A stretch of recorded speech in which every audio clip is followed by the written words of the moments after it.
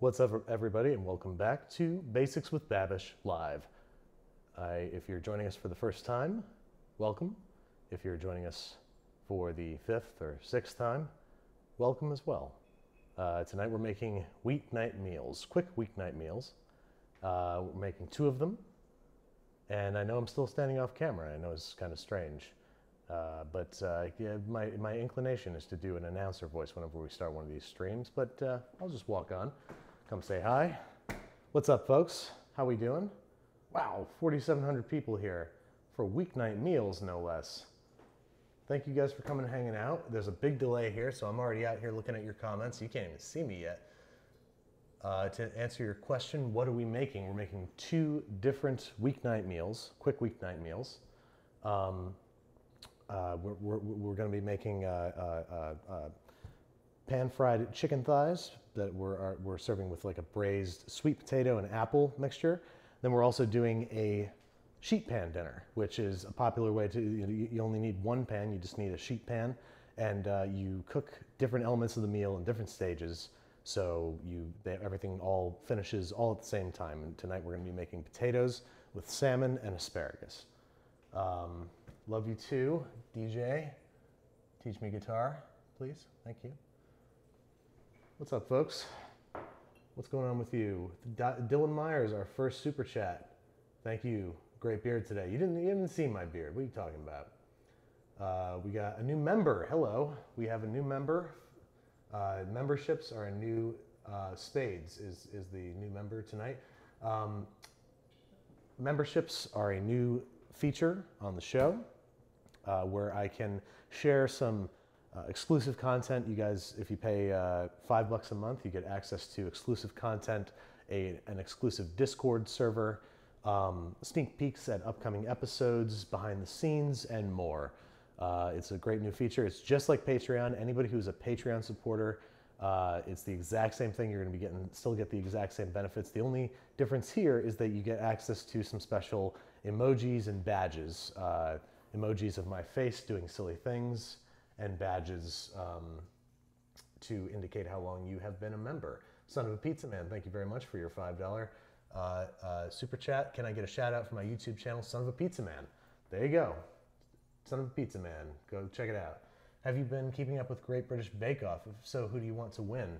I have not because uh, I, I don't have cable and the only way for me to watch it online, as far as I know, is to steal it. And I don't want to do that. Um, I watched the whole, you know, 2017 season on Netflix. I was rooting for for. Um, I don't want to do any spoilers, but you know, if you haven't watched it by now, it's your fault. Uh, I was rooting for Richard. Uh, I thought he was the man. Um, was that, oh no, was his name was Stephen, not Richard. Stephen. Steven was. I, I was. I was rooting for him when ever since he did that like Louis Vuitton bread purse that was like gorgeous, and it was like three different kinds of, of beautiful breads, and it had like a breadstick uh, um, shoulder strap chain. It was unbelievable. Uh, and I, you know, I think he he should have won if the whole series was if he judged for the whole series because he had so many amazing bakes. Uh, but uh, that last episode he screwed up, so it's it, he, he he he rightfully didn't win, but uh, he, he's the man. Josh G, um, oh you just asked that. Josh G, thank you for the question. Uh, if you guys haven't checked out Great British Baking, Great Great British Bake Off yet, I don't know what you're doing with yourselves. Um, thank you guys so much for coming and hanging out. Uh, I'm getting, I just heard, saw one or two, one or two people um, say that my audio is a little low. Um, what do we what do we think, guys? Volume. I'm seeing volume. Okay, volume is perfect. Volume up. I don't know. Turn up your volume, guys, on your computers. That'll help. Um, I want to introduce, uh, for those of you who don't know him already, my the Roz to my Frasier, my producer and best friend and business partner, Sawyer Jacobs, who's in the other room administrating the stream. Sawyer, why don't you give him a shout out? Hello, Emerald City. What's doing? What's happening? Very happy to be here. Very excited for these lessons. You know, I'm a working man. I'm here at work all the time. Looking forward to some weeknight meals, something I could cook my wife, etc., etc. Hello, everyone. Happy uh, Red Dead Eve. Happy Red Dead Eve, ladies and gentlemen. Red Dead Redemption 2 is coming out tomorrow. Uh, I've already pre downloaded it. It is ready to go. Uh, for those of you who might be curious, because people are always asking what I'm drinking right now, Sawyer and I are sipping on Dalmore 15, which I'm a little disappointed in. It was pretty pricey, and I'm not crazy about it. It's very oaky, and it's got kind of a weird, fruity. I don't know what to call it, but it, it also I'm getting like pumpkin pie spice when I'm eating it. I'm getting like like cinnamon and and and nutmeg and and uh, allspice. And normally that'd be nice, but with like the weird fruitiness and the oakiness, it's just it's just not hitting the right balance for me. Um, but it is very good, so I'm enjoying it. Dalmore, if you want to sponsor me, I'll, I'll, I'll do it. I'm not above that. Um, I'm yeah, seeing a of lot of are saying volume comments. Yeah, I'm right, gonna guys, give you a little gonna- bit of juice. We're going to turn up the mic a little bit, folks, and let us know what it sounds like. Tell, Sawyer, tell me once you've done it. I've done it. I've done it. Okay, he's done it. Test one, two, three. How we how we looking, folks? You guys hear me better now? How about now? How old am I? I'm 31 years of age. 31 years young. Um, let's see. No, dude, there's nothing wrong with ice. Volume too high. Cute. Um, volume is fine. I think that we're that we're probably. I think we're probably good. But let's see. I'm trying. I'm trying to see. Oh my God. Good. Better. Yes. Good. Better. Exactly the same. Much better. Okay. All right. People. People are liking where I'm seeing more positive than negative. So I think that we're in a good place volume wise. For for whoever just knocked me for having ice in, in my in my bourbon or not my bourbon, this scotch, for having ice in my scotch. There's nothing wrong with ice and scotch. I know that there's this perception that that makes you a wimp or whatever, but the fact is that cold water opens up scotch in a in a in a way that um, that that that nothing else really can. Like if you ever have the opportunity, have a you know a glass of bourbon or scotch, get a pipette of ice water or just a little bit of ice water, and just just hit it with a little little little a few couple drops of ice water, and tell me it doesn't like open it right up. You get a whole lot more flor- floral notes and sweetness, and it, it, it brings out a different side of the whiskey. And I'm using a big, it's called a king cube, you know, gigantic ice cube here, and this melts a lot more slowly than it would if I just had a whole bunch of ice cubes in here because there's less surface area. Uh, so this is melting very slowly, and it's just giving me a little bit of a little bit, a little bit of an icy, watery hit in here. And um, you know, let, let's let's do away with the uh, the the negative perception of, of drinking ice and whiskey. I don't think there's anything wrong with it at all. Mm. Tasty. The chat is insane. You're right. 5,600 people. We didn't. I, I didn't tweet about it. Didn't didn't put it on Instagram and uh, didn't get any uh, promotion from from YouTube. And and this is a pretty good turnout. Thank you guys for coming out. Um, weeknight meals are a tricky thing because uh, you know generally you're, you've only got 45 minutes, hour tops to throw something together, and you want something generally that's healthy and filling and tasty. And uh, it's very hard to strike that balance, especially when you're strapped for time. So um, what I've got here are two very easy weeknight meals. Both can be accomplished, I think, within 45 minutes or less. Let's see if I eat my words um, when I make them now. Let's see if I can make them in 45 minutes. Granted, I cook a little slower here because I'm talking with you guys and talking with the chat. Um, let's see, we're all just cold and alone. Me too, man. It's cold. I'm not alone though. Oh, we got some super chats here. We got a new member, uh, Rebecca Moses. Thank you for joining membership. Jody Nuago, thank you for your super chat. British Cook, thank you for your very generous 20 pound super chat. Come to the UK and cook with you. For that kind of super chat, absolutely, I'm there. Henry Velasquez, $5. Thank you so much. Hey, what's up? Shout out. Henry Velasquez, hi. Shout out. Um, so that's just catching up with the super chat here, folks. Um, and again, memberships, uh, new feature on the channel, opportunity to see some behind the scenes stuff, some um, some uh, bloopers, some uh, uh, exclusive episodes just for Patreon and YouTube members. Exciting new way to take in more, get more Babish into your day. Um, and I was thinking of posting some exclusive content tonight. If, uh, if we have time later on, if we're waiting on something in the oven, maybe I'll pull it up. I have a blooper reel, an old blooper reel uh, that is a lot of fun, and I will post it there and we can take a look at it. Um, I'm seeing we got some new members. Thank you guys. Let's see. Ianto Thomas, thank you so much for joining. Oh, uh, Rebecca Moses, we already got you. Uh, Tom F, thank you for joining membership. Juby Jubes, uh, thank you for, for joining. Appreciate it. Just trying to scroll over here. Oh, oh no, my thing's broken. I'm gonna refresh. Okay, so, all right, I say uh, we get started. What do you think, Jake? Let's go. All right.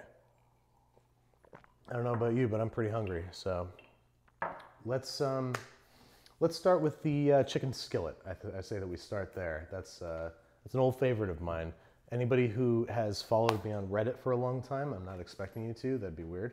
But if you have, um, you know that uh, uh, I posted ages ago, talking like four years ago, uh, about this very simple, delicious whiskey chicken skillet uh, with sweet potatoes and Granny Smith apples. And it's, um, it's a very simple, uh, very quick thing to put together, but the chicken comes out really great. Like, you know, chicken thighs are kind of a, kind of a pain to cook sometimes because, you know, in order to, to really get the tenderness out of them, you got to hit a tar- certain target temperature. You ideally want to braise them because uh, the liquid will, will, help break down the muscle fibers and the, and the, collagen and make them more tender. So this is a sort of happy medium where we're cooking them in liquid with the, with the, the skin still exposed. So that way the meat is getting the attention that it needs and the skin remains uh, uh, untouched by liquid so it can stay nice and crisp. And we're also uh, searing these in the, ca- uh, not cast iron, yeah, you can use cast iron, uh, in a stainless steel or cast iron skillet until we get the skin nice and crisp. And then we also build up some fond, which, as anybody who's fond of me knows that I'm fond of fond. Um, so I'm just going to go ahead and peel our sweet potatoes here. Jake, do we have any questions or anybody anybody that? Uh... Uh, we got a nice um, super chat from Tattooed Dad saying you've given him the courage to take some risks in the kitchen, and we really appreciate that. Keep doing That's it, my really man. Nice tattoo, Dad.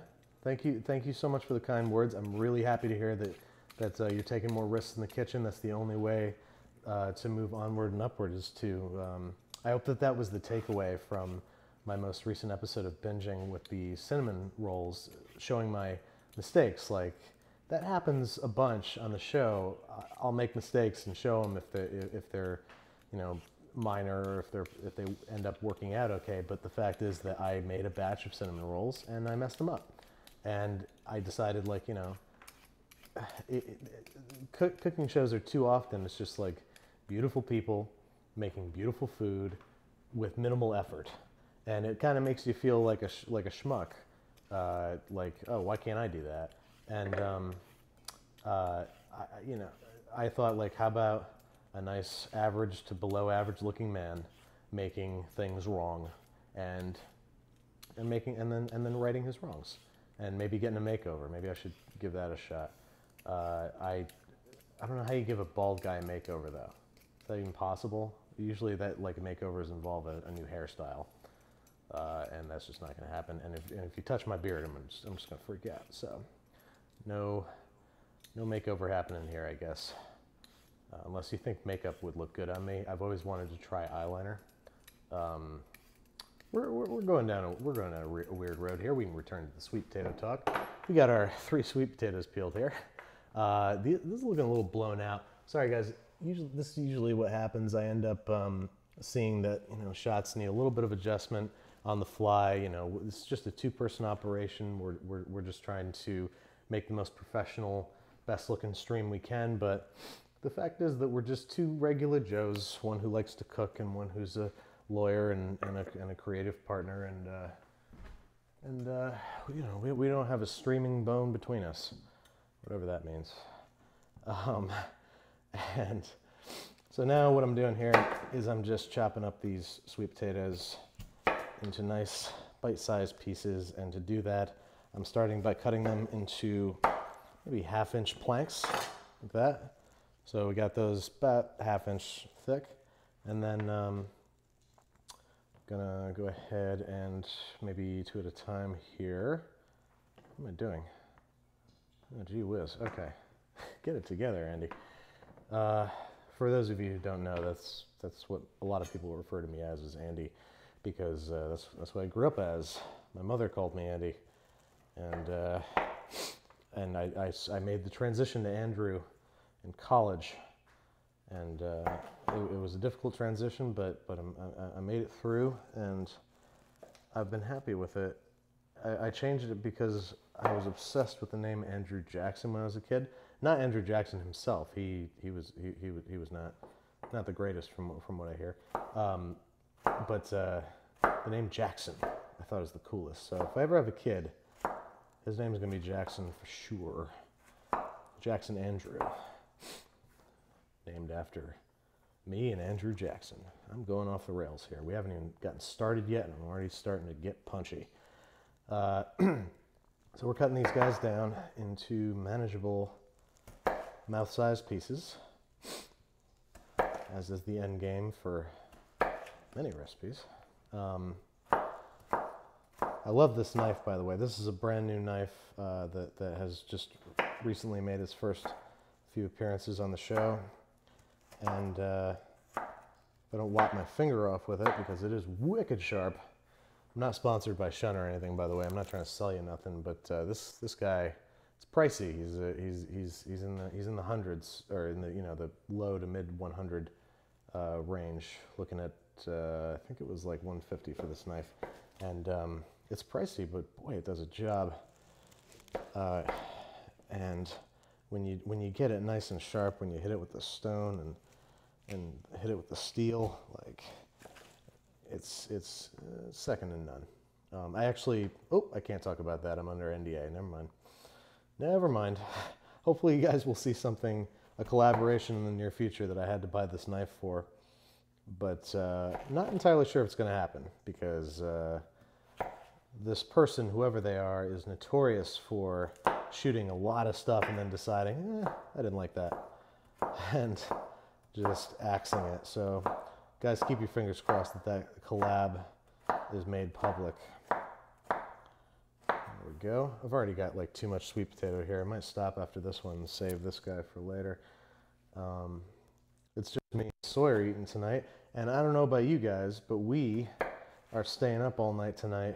Not all night, but we're staying up late to wait for the release of Red Dead Redemption 2, which I have pre-downloaded on my PS4, and we're, we, we've seen the initial reviews and how much how crazy people are about it. I'm personally not looking forward to like maintaining my the happiness of my camp and like having to eat every meal and having to you know it sounds like a little bit too much upkeep for me. I, I, I like open world games where you can kind of do your own thing if you want, like just just go off and and uh, you know that's why I've been playing a lot of Spider-Man, Marvel Spider-Man, the new one. That's where you know I recently did an episode from it because anytime I want, I can just go web slinging. I don't have to stick with the story all the time or go make my make uh, the rest of the Avengers happy or anything like that. Uh, I've been ranting about video games for a minute. Sawyer, we got any questions out there? Uh, the most important question I'm seeing is what is your PS4 username? no. I mean, we're we're thinking about going live tomorrow with our gaming exploits. You're Oh, to that's true. No, you're right. You're right. You're right. Guys, let's uh, let's poll the audience real quick. I want to see um, yeses and nos. Uh, if tomorrow we were to live stream the whole day, just me and my boys playing Red Dead, would you guys tune in? It would probably be on Twitch, probably not on YouTube. Um, what is my PS4 name? I can't remember. Oh, it's uh, it's um, uh, all right.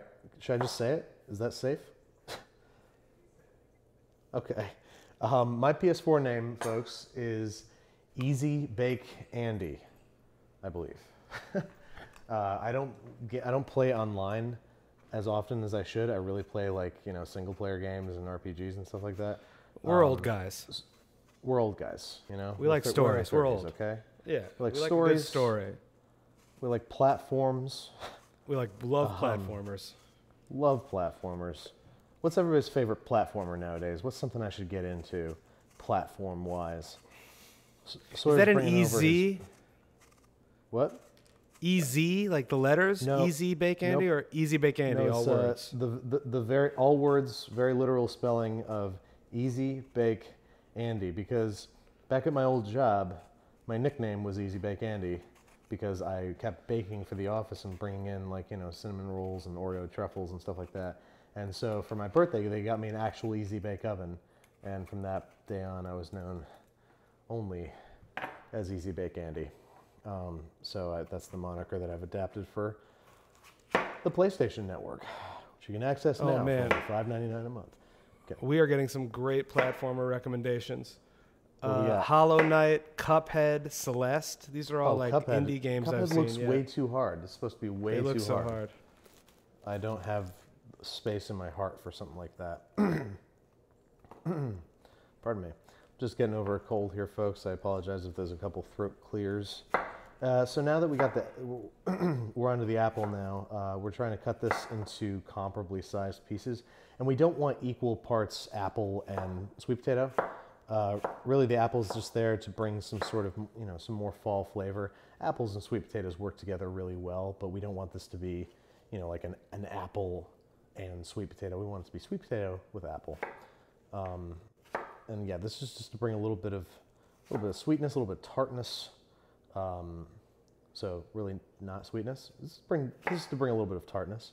Um, and uh, tonight I'm going to try things a little bit differently uh, than I did on the in the episode. In the episode, I just did whiskey and um, and uh, what was it? Chicken stock and lemon juice. And tonight I'm going to try adding a little bit of maple syrup. And uh, I can't remember was it Tattoo Dad? Uh, you were talking about some experimenting and branching out in the kitchen. That is so important, and that's what I'm going to do tonight. And worst case scenario, you got something that you're like, eh, that's not that good. And there are far worse things in life, I promise, than that. So it's worth trying because you might stumble across like, wow, that tastes really good. And when you do, that's that's that's a, a, sen- a there's a sense of accomplishment there that just is unmatched in the kitchen world. That's that's what you're trying to do always is come across that like wow moment, that aha moment. Um, all right, so I'm just emptying out my, my garbage bowl here. And then we're going to prep the chicken thighs, which I have in the fridge. I'll grab those now. Um, let's scoot these over here. Oh, you know what I also didn't do on the live stream is I didn't add any onion. And I was regretting that wholeheartedly. I think that onion is going to bring a lot to this. Um, I added chives at the end to kind of uh, compensate for it, but um, I really think that uh, onion is going to bring some of the savory, some of the savory flavors that it was really missing. Um, so I'm going to be sure to add a small chopped onion. Jake, what we got? What we got going on over there?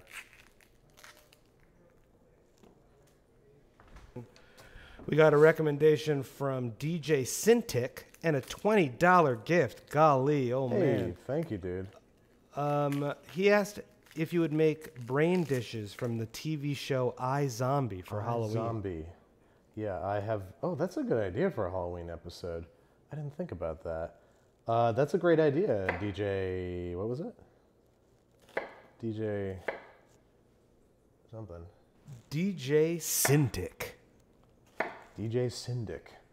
Uh, that is a really good idea. I've, I've, uh, people have suggested that before. I've never seen iZombie personally, so I wanted to sort of watch it and get some research done. But Halloween is bearing down on us like a like a freight train. Um, I can tell you guys that this, uh, uh, what the subject of the next episode is going to be.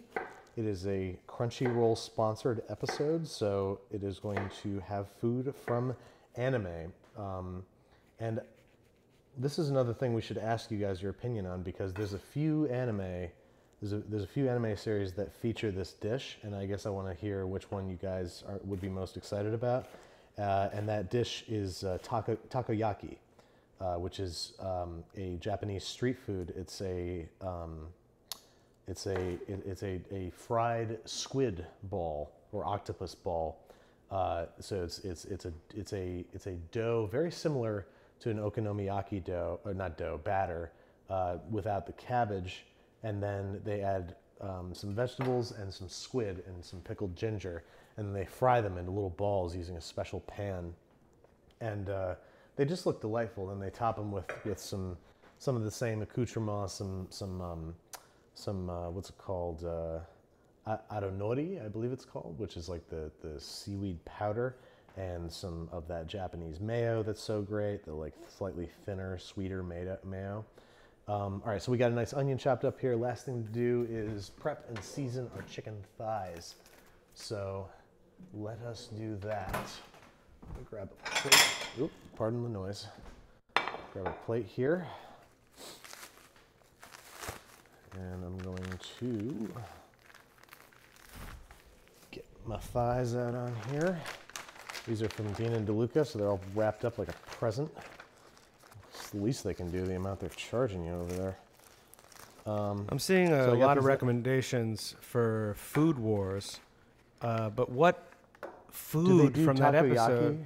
Yeah. th- there's food in every episode, right? So what's the Yeah, best? which which food do you guys want to see?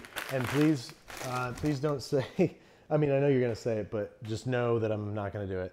Is uh, the gotcha pork roast because I don't think it's possible to make a pork roast from potato and bacon that tastes like a proper pork, like a juicy, you know, meat dish uh, as described in that scene. So I'm not super, you know, maybe if I get a couple practice runs in, if I get a couple practice runs in, I could potentially give it a shot one day, but I'm not super keen on it right now. Um, oh, geez, I forgot I'm out of kosher salt. Can you believe it, guys? Of all the people in the world, would you imagine, ever imagine that I am out of kosher salt? Somebody sound the alarm. Uh, so I've got some some um, some coarse sea salt here, which, for purposes of seasoning our birds, is going to be just fine. It's going to be a little bit. I'm trying to go a little sparing because these are these are really big crystals of salt, really big. Um, but I just want to get a nice dusting on there. There we go. And then some freshly ground pepper. That you won't ever catch me without. Are people freaking out about the fact that I'm out of kosher salt? Because I know that's out of character.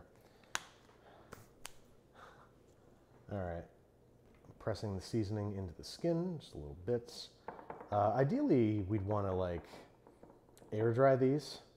When you salt and air dry chicken, chicken skin in particular, not only does it deeply season the chicken, but also it desiccates the skin, makes it drier, and therefore helps it crisp up a bunch more.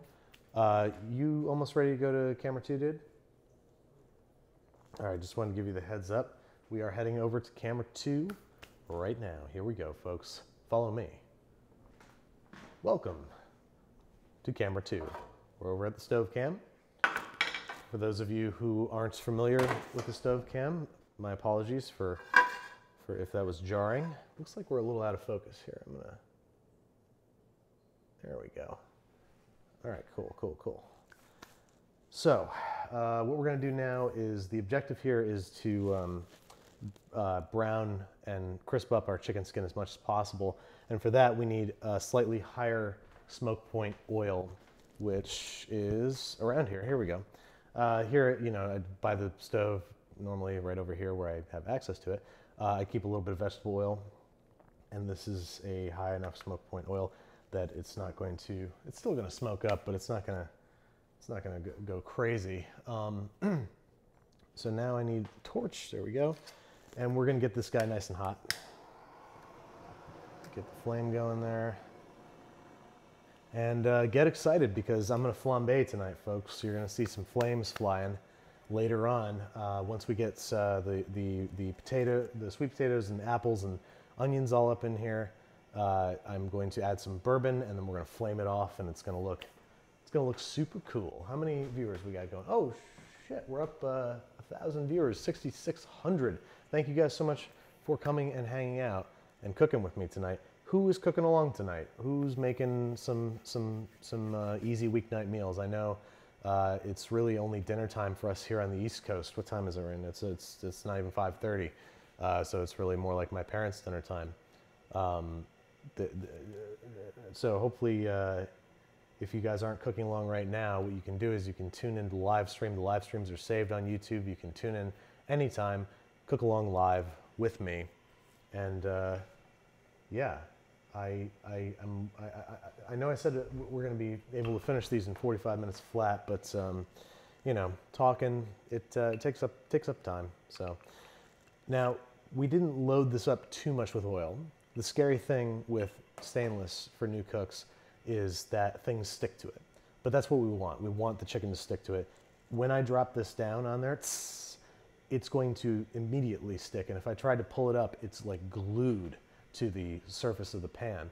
But that's exactly what we want. Um, basically, as the skin cooks and as the fat renders out and as it crisps up, it's going to lift off the pan of its own volition. And um, it's also going to release a whole lot of fat into this pan. So we just put a little bit of vegetable oil in here, but by the time we're done frying these up, this is going to be swimming in fat uh, because all the fat is going to render out of the skin, um, which is what we want. Like, you know, too much fat in your skin, that, you know, that, that can't be good. Um, it's very hard for me to gauge the temperature of the pan nowadays because these burners are so hot. There's heat just flooding up around the side of the pan. It makes it very difficult for me to gauge. I think we're pretty much ready to go here. I want this practically smoking. So I'm gonna get down here take a look. Sorry for putting my face all up in your business. Oh, okay, I see a little bit of smoke. That's exactly what I want. My air conditioner just kicked on, so I must be doing my job right. Make sure that's spread around. And then let's drop these in. Let's, let, it, it, we know we did our job right if we hear a nice aggressive sizzle. Just like that. There we go. These are nice small chicken thighs, so this, this meal, you know, you could do this with probably up to six chicken thighs in here. In this pan, that is, with a bigger pan, you could do even more. You could feed a family of four, no problem. But this is probably enough to feed a family of four. These chicken thighs are a little small. If you wanted to, to feed, you know, your spouse and your two kids, you probably want to get slightly bigger ones. This one, this is going to be perfect for Sawyer and me. Sawyer and I, sorry. Um, sorry, folks, just getting the dishes out the way. And uh, yeah, we are we're, we're, we're putting these down, and we are not touching them for as long as as emotionally possible.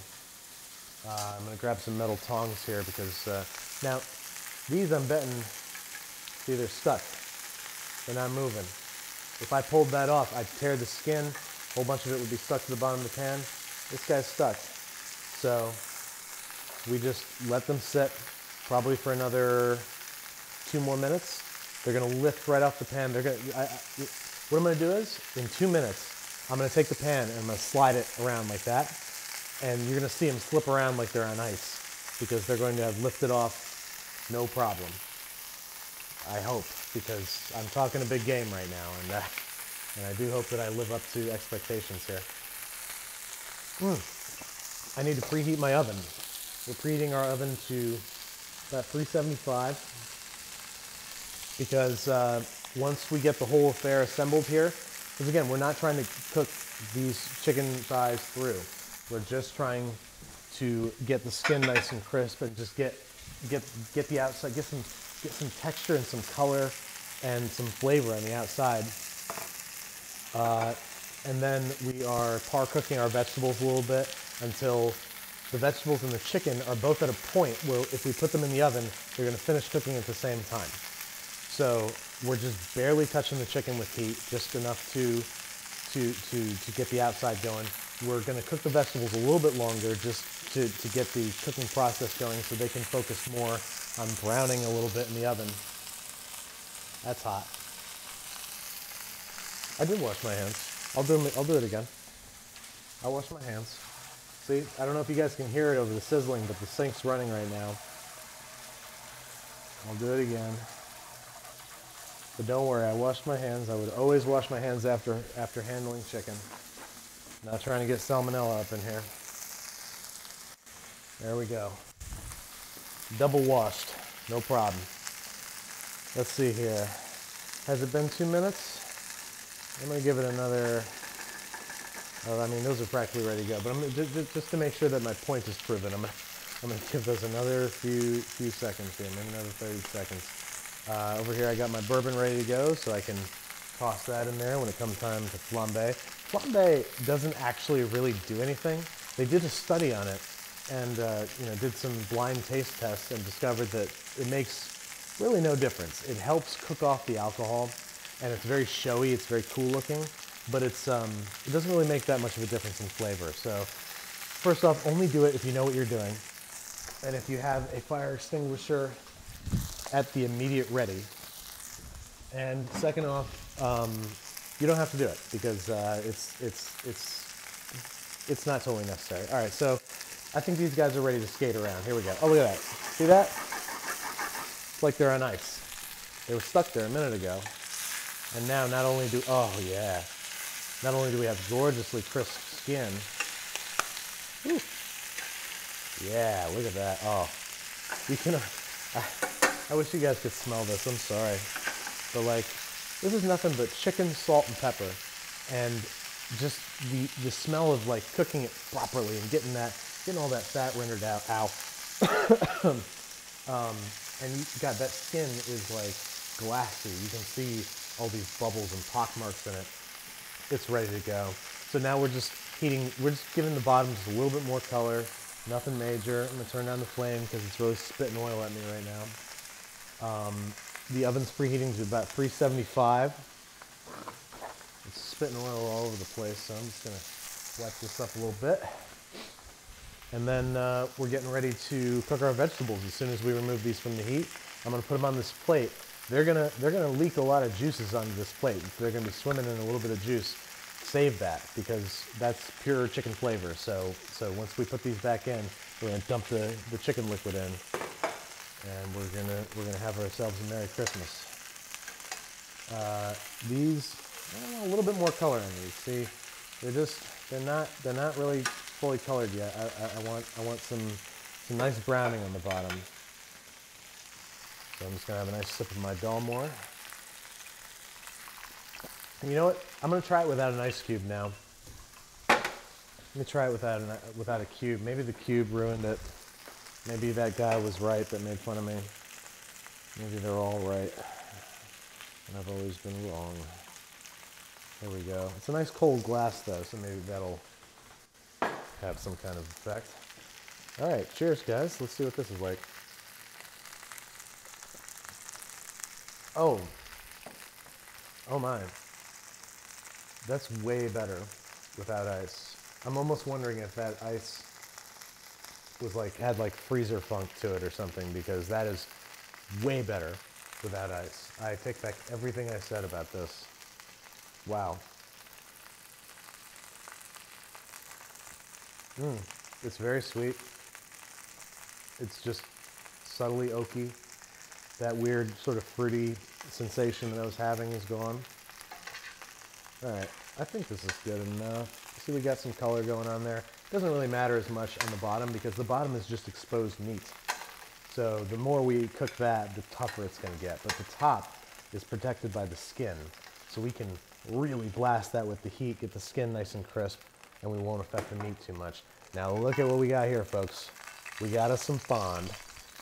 So first thing I'm gonna do is I'm gonna drain off a bit of this fat because there's a bit too much in there. I just want like a tablespoon remaining. Uh, I'm also going to wipe off the side of the pot because it's got fat going down it and I don't want that to catch on fire. You know what I mean? So there we go, back on the heat. And I'm going to start with my onions. Here we go. I got my onions over here. We're bringing them over here and into the pan they go. And there's a little bit of reserved chicken fat and oil. And we got that nice fond in the bottom of the pot.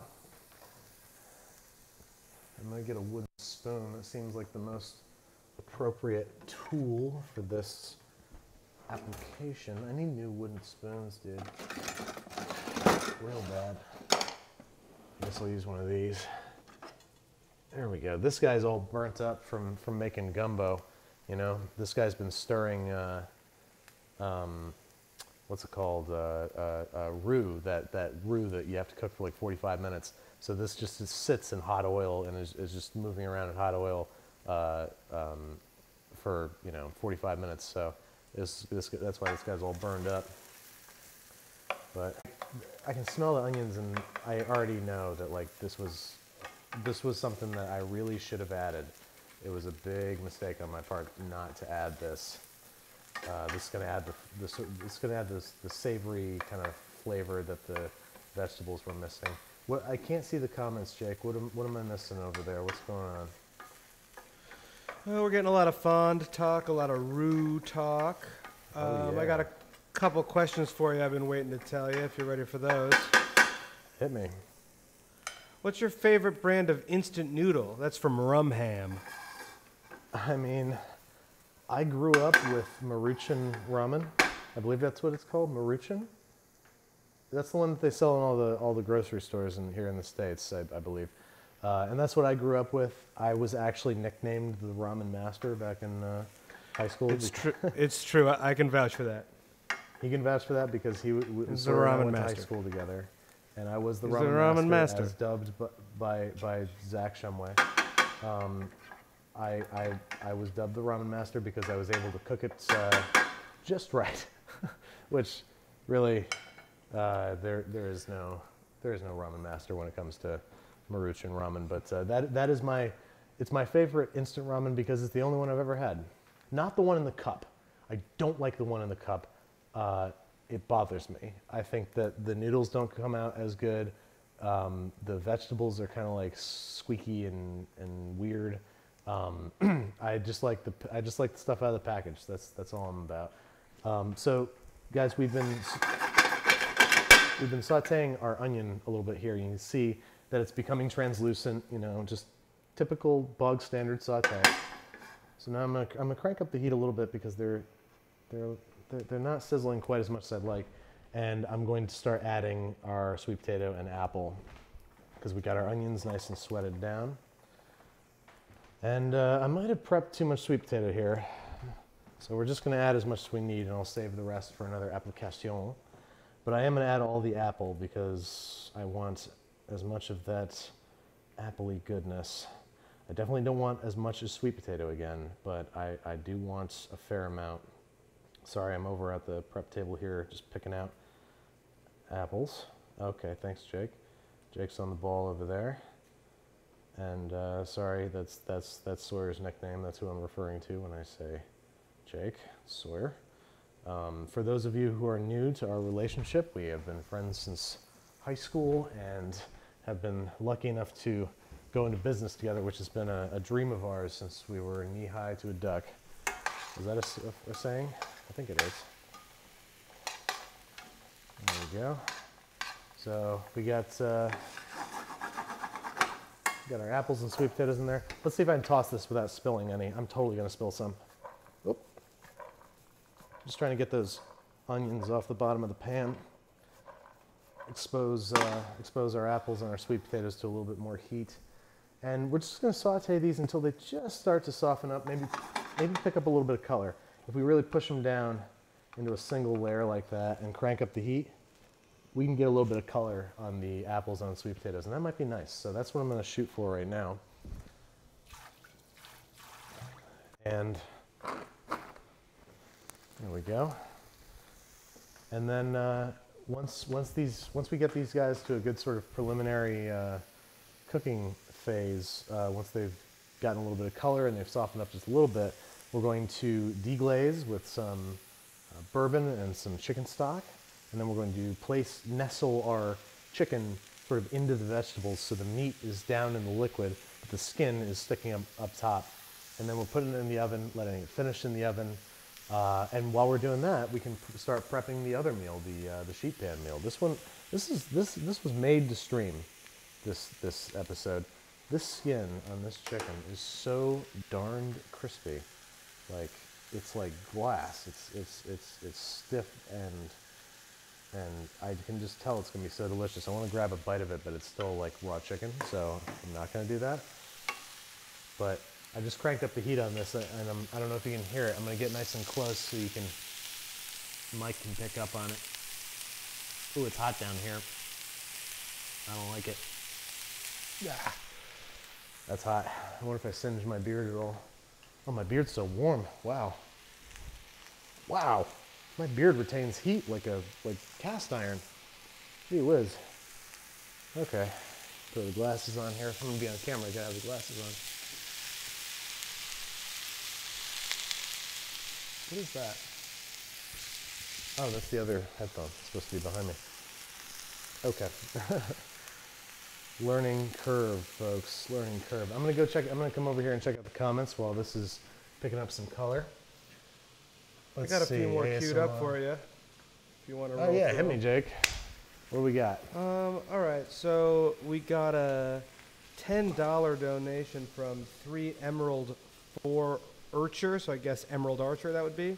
Uh, my you, favorite Emerald movie Archer. is No No Reservations. Could you cook Kate's quail and truffle dish? You ever heard of that? Yes, no reservations is um, is uh, that uh, that old uh, what's her name? Um, the chick from uh, from from oh my god, um, Catherine Zeta-Jones. Uh, Catherine Zeta-Jones and like um, Aaron, the guy from Batman who played Two Face on Batman. Um, Aaron, uh, whatever his name is. Uh, I've not seen that movie. I'm gonna have to check it out. I assume that there's a lot of great food in it because it's all about a high-end chef, right? Um, I've also gotten some requests from the movie Burnt uh, with uh, with um, I can't. I'm blanking on all names tonight. Um, God, he's in this the the, the, the, great new movie A Star Is Born. It's um, ah, Bradley Cooper. Jeez, thank you, Jake. Um, I don't know. I'm, I'm, I'm off my game tonight, folks. Sorry. Uh, yeah, the Burnt with Bradley Cooper is another popular one. So uh, definitely going to be making something from one of those in, in the future. What else we got going on over there? Okay, we got Tehgex, T E H G E X, recommended hard can- candy. Can you, can you switch Yep. the camera to? Uh, Oh, yeah, sorry. Um, uh, we have um, Tehgex asking to do hard and soft candy and candy apples from Hocus Pocus. That's a good idea. Oh, that's a really good Halloween idea right there. It's a shame that the next Uh, episode it's got it's got to be from anime, and that's going to be the day before Halloween. No, Oh, shit. yeah. that's unfortunate. All right, well, it's in the repertoire. That's a good, good suggestion. Uh, we got a five pound question from Louis C. What up, Louis C., baby? thank you. Serious question. Brad or Vinny? I'm not answering that question. I don't care how serious it is. I'm not answering that question. They're both my brothers, and I and they're not happy. I will carry them. What? Uh, I, I I would never choose between the two. I could never choose between the two. In my mind, they're the same person. Yeah, it's really Oh, impossible. So, yeah. Why Um, don't you ask me got to choose my favorite child? Yeah. We're going Um, back over to the stove, Jake. Just FYI. Got it. I got a 20 euro question from Alex Rosing. Really appreciate that. Thank you. Alex. Um, they want to know what watch you're wearing. Oh, tonight's uh, wearing uh, a, um, a Rolex uh, Datejust from 1981, circa 1981. Uh, it's I, I, got, I got it in a, in a foreclosure auction or police auction of some kind. Um, so I got it for steel, and, and it's it's just so unique. It's so interesting looking. It's got a, a stainless case with a gold um, bezel and a, and, a, and a, a, a robin's egg blue face. It's just a very unique looking watch. So I'm, I'm, I'm, I'm recently getting into fine timepieces. I'm gonna turn this down a little bit here. That's hot. Um, but you might be able to see here, we picked up some color by letting everybody sit on the bottom of the pot. We picked up some nice color. I don't know if you can see that, but we got a little bit of browning on some of these pieces. So now the objective is, now that we got some color, the objective is to start cooking these guys through a little bit because we, we want them to be sort of par cooked before we put them in the oven. And then we got all this great fond on the bottom of the pot here that we're going to deglaze in a moment with uh, bourbon and chicken stock. And that's going to be exciting because we're going to get see some fire. How about that, folks? Um, but uh, yeah, recently gotten into into into fine uh, timepieces and watches and and uh, vintage old old Rolexes are very cool, very interesting. Um, I'm seeing that these Yeah, the apples are starting to soften up. So is so is the the the, uh, the sweet potato. So I think I think we're gonna be good to deglaze now. So I'm gonna crank up the heat. I want this pan nice and hot because we want the alcohol to aerosolize. So it's uh, it, it it comes off as vapor from the from the top of the pan, and then we can set that vapor on fire. So buckle your seatbelts, folks. So I'm gonna get this nice and hot. There it goes. Now I'm going to off the flame, add some bourbon, about a half cup there, and then put it on the heat. Once we feel like we've cooked off a bit of the alcohol, get that flame nice and high, and go ahead and there we go. Some nice little flames. Again, not necessary, just fun. Um, I'm sure some, some chef in France would disagree with me. Gotta get all that alcohol cooked off there, careful. Don't, don't like reach into this or look over it or anything because look, there's still flames shooting out. There's still fire going on there. I don't know if you can see it, but there's still flames. So I'm gonna extinguish those now by, there's still flames, look at that. I think the apples are on fire. We'll go ahead and extinguish that with a little bit of uh, chicken stock. There we go. There we go. We just want enough on the bottom. Oh, I forgot the sage. Shoot. That's okay. We can add it now. It's still going to be good. I'm going to turn down the heat over here. Jake, we're going to go back over to the prep table. And I'm going to grab some fresh sage out the fridge. It's already smelling pretty good, folks. Pretty, pretty, pretty, pretty good. Um, I'm also going to add some maple syrup, I think. I think that that's going to be a real nice addition. Where is my maple syrup? I know I have some. Uh, hang on a second, folks. I have to jump off camera real quick because I think it's over on this rack over here. Sorry for the coitus interruptus, if you will, name it. Wet Hot American Summer, that's right. Um, all right, so we got some maple syrup here. We got some fresh sage.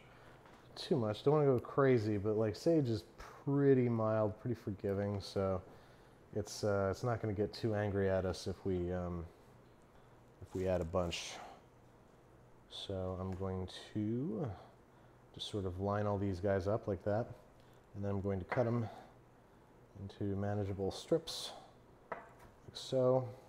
This is just one of a million ways that you could cut sage. I'm just cutting them into strips, so now I can go like this.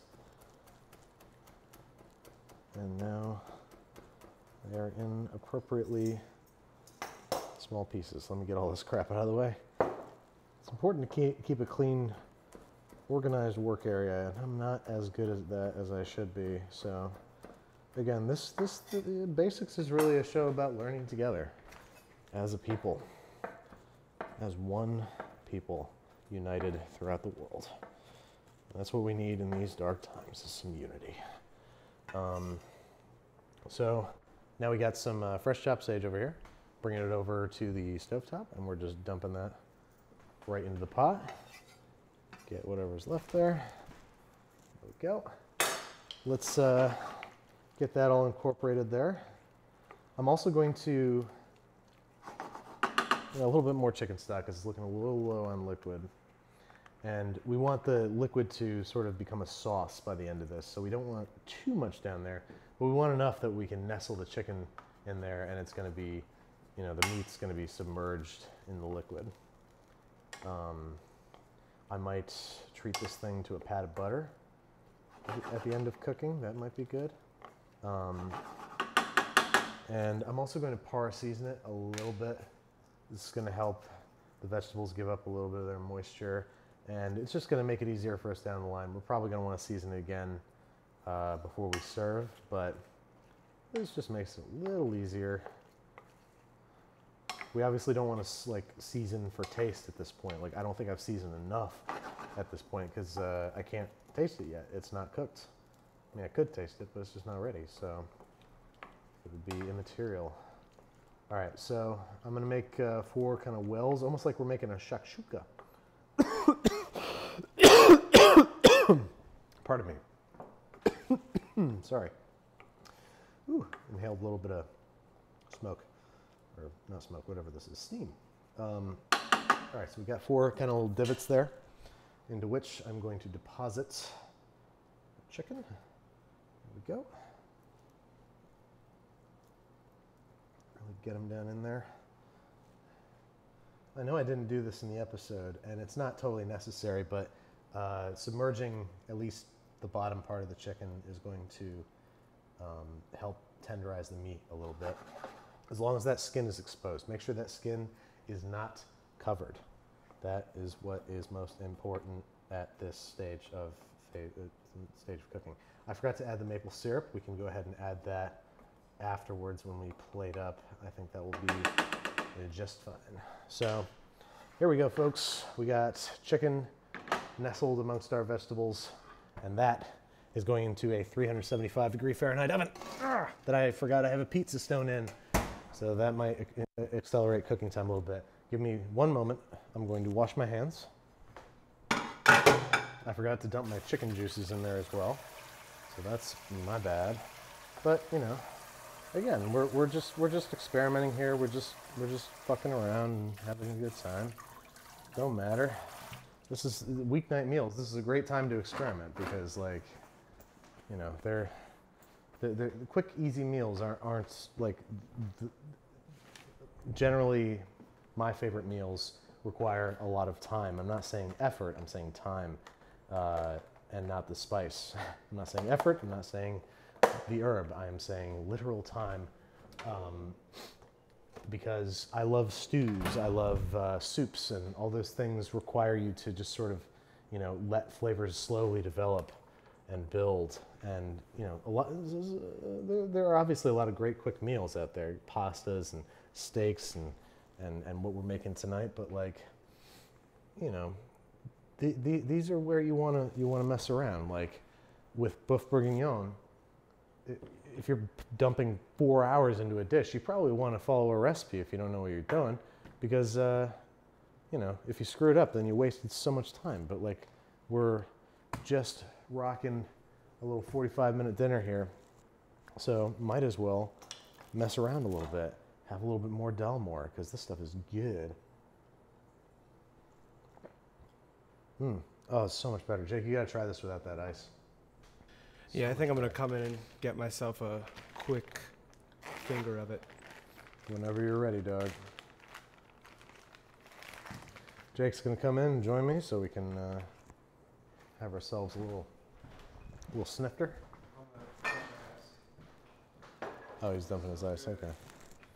Yeah, that that was that was your favorite when we were shooting, right? The chicken, or was it the salmon? I wanted to see the bottom. So let's show them that bottle. Here we go, folks. Dalmore 15. It's a fine single malt scotch. Uh, Highland, yeah. Cool. Mm. um, so this neat, definitely way better. I'm weirded out because I can hear my voice in my in my, yeah, in my earpiece from the. here you go. oh, here we can do that proper. Cheers. Thanks for thanks for helping out, Jake. Okay. Looks like we got us some dirty potatoes here, folks. So I'm gonna oh, give these. Got, uh, one of the mods from the subreddit sent a big super chat. Big what up, what up, what up? Thank you. Oh, all right. Let's see here. Oh, I know you, man. Flip Mazad or, or whatever you are on Reddit. I, I know you. You're one of the earliest and the greatest and, and, the finest, dude. Thank you so much for all your hard work on the subreddit. Um, some great BWB discussion, some awesome Babish memes. Uh, from one Andrew to another, keep the great, keep up the great live streams. Thank you so much, dude. And guys, if you're Redditors or if you're, you know, want to check out Reddit, a great place to start or a great place to end up is um, the Binging with Babish sub, subreddit. That's at reddit.com slash r or backslash backslash r backslash binging with Babish and it's a uh, forum for discussion and and sharing of uh, you know recreations from the show or questions that you might have. I'm always in there poking around, saying hi, and um, my man Andrew over here, who just helped us out with a, uh, a $20 super chat. Thank you so much for that. It's very, very generous. You didn't have to do that because you're already so generous with your time working as a mod uh, on the subreddit. But thank you. Um, he is one of the admins over there, and he's one of the people who makes sure that it's a, uh, a friendly and beautiful little corner of the internet. So if you are a fan of the show, if you are a fan of cooking, come hang out, and I will see you there. Thanks again, Andrew. Appreciate it. From one Andrew to another. I'm gonna rinse these potatoes, folks, because they're looking a little dirty. Um, and they're also a little bit bigger than I'd like for them to be, but that's all that they had at the store. So we're probably gonna quarter these. I know on the on the episode Quick, I did these uh, in halves. Quick chat, quick chat moderation note. I'm gonna move us into slow mode because uh, a couple people in here are getting a little chippy, trying to uh, trying to make it so we can't chat. You know, they're just Uh, spamming. we got, so we got gonna- some rabble rousers. Well, yeah, we got some rabble rousers, so we're gonna try and slow them down. Our apologies to everyone out there who's just trying to get some cooking tips and have a nice time. We're working on yeah, it. We're gonna try sorry, and uh, put them down a notch. sorry we got we got to put on slow mode but some people want to want to mess around and you know it's the internet that's okay that's what's going to happen and i'm sorry that you guys have to pay the price um, but thank you very much for sticking with us 6334 people. Thank you guys so much for hanging out. Sorry for coughing. And uh, here we go. We got some nice potatoes nice all clean. I was so um, I wanted to get these these potatoes so bad because look at this. They're called buttercream potatoes, organic buttercream, uh, um, probably Yukon Golds of some kind. So I'm expecting these to taste like dessert. I'm kidding. They won't do that, but they'll probably be nice and soft and creamy and whatnot. I hope with a name like buttercream. Otherwise, somebody's doing some real false advertising, which I would not appreciate. Okay, we got these uh, potatoes all rinsed up. And uh, let me think, any other prep that we need to do? So the, the basic, um, basically, if we get down to basics, sorry, um, oh, uh, the, the, the, the basic order of events that's going to go on here is that the potatoes need to cook for about 35, 40 minutes. And the salmon and the asparagus need to cook for about 15. So we're going to start the potatoes first um, on a preheated sheet pan. So I've got an aluminum aluminum uh, uh, rimmed baking sheet here. Uh, this is the, you know, this can be the foundation for a great many dinners. And all you have to really do is think like, how do I best want to time this? Uh, potatoes take 40 minutes or so to cook. Asparagus takes 15. Salmon takes about 12 to 15. So what do you do? You put the potatoes in the in the oven first for 20 minutes. Then you take it out. You add the other. You add the, the salmon and the asparagus. Then you put it back in. Then everybody's done at the same time. Voila! You can do this with virtually not anything, but you can do this with lots and lots of things. You could do it with chicken. You could do it with turkey. You could do it with tofu for all I care. Oh my God, who's here right now? All right. Well, Who's here? we- we I'll, I'll go get it. I'll here, go get it. I'll go get it. I'll go get it. Okay, all right, all right. Jake's gonna get it. We, we, I don't know if you guys could hear that, but my doorbell just went off, which means that uh, we have us a visitor, an, un, an unannounced, unscheduled visitor. Um, we'll see who this is. It's not the laundry guy for any of any old uh, legacy streamers that might remember the legacy of the laundryman. You know, I might do these in halves. You know, I was talking about about uh, doing these in quarters because they're so big, but you know they're so narrow. Like they're they're they're they're tall, but they're narrow. So once you cut them in half, these are small enough to cook, even though they're large potatoes on their own. Did you check the intercom? Elevator's in use, so it's gonna take forever for them to get up here. Well, but but you, did you buzz them in? Yeah. Why? Why didn't you ask who they were? Because it's live. It could be a murderer. Because we're live. Just because we're live? We're making a TV show. Oh, you're an anarchist. All right. So we just let a stranger into the building. Um, so say a little prayer for all of us, I guess. You know, maybe I'll do just so they're more bite-sized. I can't decide if I want to have these be big old hunks of potato that you can cut up with, with a fork and knife yourself. I think I want them to be bite-sized. So I'm gonna I'm gonna quarter these like so, and that way they still have a ton of surface area what I'm most concerned about is surface area to pick up browning, and we want a big old piece of the potato to have unfettered access to the bottom of the sheet pan, which again, I need to preheat. This guy's going in the nice hot oven, so when we take it out, it's gonna be nice and hot. We're gonna be able to dump the, the oil tossed potatoes on there, and they're gonna start sizzling and start picking up color immediately. I'm gonna check on our chicken as well. Looking like chicken. Okay, smelling good.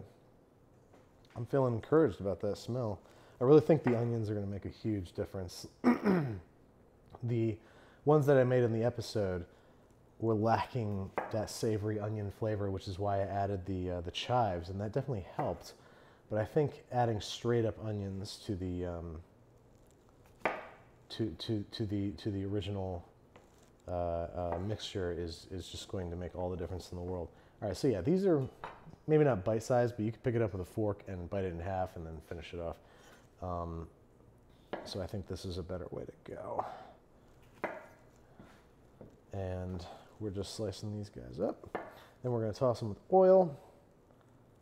Oh, no, wrong way. I'm not thinking clearly right now. Got to go that way. There we go. I want nice flat pieces so there's lots and lots of surface area to pick up good browning. Feel me? Go, last one. This was one of the first things that I really learned how to cook, especially in college, was just roasted potatoes with herbs and garlic, which uh, I've you know learned now that uh, if you toss these guys with fresh garlic, the garlic's going to burn well before the potatoes are done. What you might want to do, which I've been enjoying doing in my in my free time, is um, roasting the potatoes, getting them all cooked, and then once they're done, tossing them with a with a quick vinaigrette of lemon juice, uh, maybe vinegar if you're feeling frisky, but mostly lemon juice, olive oil, and garlic. Uh, butter if you're feeling frisky again. Uh, you know you can you can you can change that up. Maybe some fresh parsley, um, and uh, and toss that with the hot potatoes. They don't lose much of their crispness. They do lose a little bit for sure, but uh, they they gain a, a whole lot of flavor. And the heat from the potatoes just wakes up the raw garlic and the um, the uh, uh, uh, lemon juice, and it just it just wakes everybody up, and it's, it's just a great time. Um, so, all right, we got these guys cut up. Let's prep our asparagus. That's the next thing that we can do. Now, I did something on the show that I'm not super proud of, which is that I did what an ex-girlfriend taught me to do, which is to take your asparagus, find the point that it, like bend it and find the point at which it naturally snaps like that. And, uh, and that's the best part. And this whole part would be woody and tough if you tried to cook it. But it's just not true. Um, it will snap depending on wherever you hold it. Like, you know, if I hold it at each, at each end, at the, at the tips, guess where it's going to break? Right in the middle. If I hold it down here and I bend it, guess where it's going to break? Right in the middle. Like, you know, look at the difference here. I, I really, really doubt that this piece of asparagus was fresher here and this one here. Um, so do us all a favor and, and just cut your asparagus because uh, I actually, no, I'm sorry. I think there is legitimacy to that. I think you end up with less tough ends if you break it instead of cut it. So instead of like, you know, bending and trying to find the natural breaking point, just find like, you know, right there. That's a good place. We want to lose probably a solid inch off the stump, depending on the size of that particular piece of asparagus. I might cut these in half too, so they cook a little bit quicker. Because um, I like really crispy, uh, not burnt, but you know, blackened asparagus. Nice, nice little dark bits all over it. That's what I like the most. And I'm going to achieve it by, I think I'm, well, maybe not. The, if this was really thick asparagus, you know how sometimes at the store you get asparagus that's like out of control thick, I might have it, but this is pretty average. So might as well just keep it where it's at. I feel like we're a little light on asparagus here. If you were feeding a family of four, this might be kind of kind of paltry. Um, but you know. All right, so now it's time to wash this quick. I'm gonna just give these guys a little rinse. Pardon me, pardon the interruption. Little rinsey rinse on the asparagus. You don't want to pick up any dirt or, or you know, tainted soil. I don't know. But you know, if you ever if you ever make asparagus or zucchini or something like that, and you didn't you didn't rinse it, uh, that's a lesson you'll never forget. Is like, oh, grainy zucchini. That's awesome. Uh, that's a lesson I learned back in college. I was obsessed with just like making zucchini just sautéed with garlic. And um, one time I made it for my then girlfriend, and uh, wow, what a disaster. Um, this is a boring story. I'm just grabbing paper towels right now, real quick, just so I can properly dry these guys off. Un moment. There we go. Because we want these nice and nice and dry. We're gonna let them air. We, we, there's plenty of time for them to air dry because these potatoes have to bake for a solid 20 minutes before before these uh, even approach the oven. But one nice and dry so they they experience the Maillard reaction and become browned. And yeah, I guess it wouldn't hurt for them to be a little. Now I'm thinking about it, it probably wouldn't hurt for them to be a little moist because that would might like help them steam uh, all on their own a little bit or something. I don't know probably would be just fine. I think uh, that's the beauty of these things. Like the, you know, with, with, with the cinnamon rolls with baking, little subtleties can ruin the whole thing. Not packing them in the, uh, not arranging them in your baking dish properly can ruin their size and appearance. Not frosting them at the right juncture can ruin their appearance and and um, just not make the the frosting drape over the sides the way that you want them to. Uh, overproofing, underproofing, all these little, seemingly little things can make or break it. Uh, when it comes to cooking, obviously there's, depending on the dish, but especially with dishes like this, there's a lot more wiggle room. And, you know, if, if your asparagus isn't dry, if you're in a rush and you're like, oh, I forgot to wash my asparagus, and you washed it and dumped it straight on the dish, it's probably still gonna be fine, so just relax. Um, anyway, I'm on a rant. We got two new members. We got Ty- Taylor Williamson. Thank you so much. And Sam Zapiro. Zapiro. Thank you very much for becoming members. Again, for anybody who is new to the party, memberships are a new feature on YouTube wherein you can pay $5 a month for access to exclusive content like behind the scenes footage, exclusive episodes, bloopers, uh, you can have access to special emojis and badges. Uh, you can have access to a special Discord server where I'll be popping in from time to time and we can chat. Um, it's, a, it's, a, it's, a cool, it's a cool new feature, so check it out. I encourage you to check it out. Now, um, I'm going to do a quick temperature check on a chicken because it's been in there for probably, you know, 10, what, 20, 15 minutes probably. And uh, I, it's not going to be done, but I just want to see where it's at. I want to see how much further we have to go because I'm not timing this here. I'm just going by doneness. There we go. All right, let's take a poke here. What do we got? Oh, wow. They're further along than I thought. We're at about 150 degrees. I guess because they're so small. I'm gonna check another one here. You wanna get into the thickest part of the, of the thigh, right by the bone. I'm, I'm getting between 150 to 160 there, so we're actually way closer than I thought. I'm shooting for at least 175. The beauty of, uh, of, of um, chicken thighs is that it's very, very difficult to overcook them. Um, I honestly think like, you know, the recommended cooking temperature is 175. I really think 185 is where they really come to life. Um, I don't think there's that much juice loss and um, and uh, they're so tender and they're so. Ju- I, I, really think that that's the best place to be. So we got you know 15, tw- uh, 25, 15 to 25 degrees left to go, and then we will hit uh, the oven with our potatoes. Sound good? We got new members. We got uh, we got a five dollar super chat. Hey man, love the vids. Uh, Onyx 34A says, "Hey man, love the vids. My um, love cooking myself. Just wondering what knives you use. Well, I use a wide variety of knives. Um, I have my cheap, oh, it's not even up here. For, you know, for when I need a, a real knock around knife, I got a, a you know, a Dexter. This is like a, a, um, a restaurant supply store kind of knife. It's like 15, 20 bucks. and it's a workhorse. It's you know, it's not the sharpest knife in the world. It's not the sturdiest knife in the world, but for a little bit of money, it, it'll get the job done. That's my, you know, really beat it up kind of knife. Then this is an excellent entry level knife that I recommend to all burgeoning uh, home chefs. It's the Wüsthof Pro line. I'm a big fan of Wüsthof knives. I have uh, myself, this is my uh, one of my favorite chef's knives. It's uh, the Wüsthof Icon um, Classic, Classic Icon, eight inch chef's knife. It's one of my favorites. And they, rec- but this is very, very expensive. It's around $150. Uh, and they recently came out with the Pro line, which this guy retails for about 20, 20 bucks.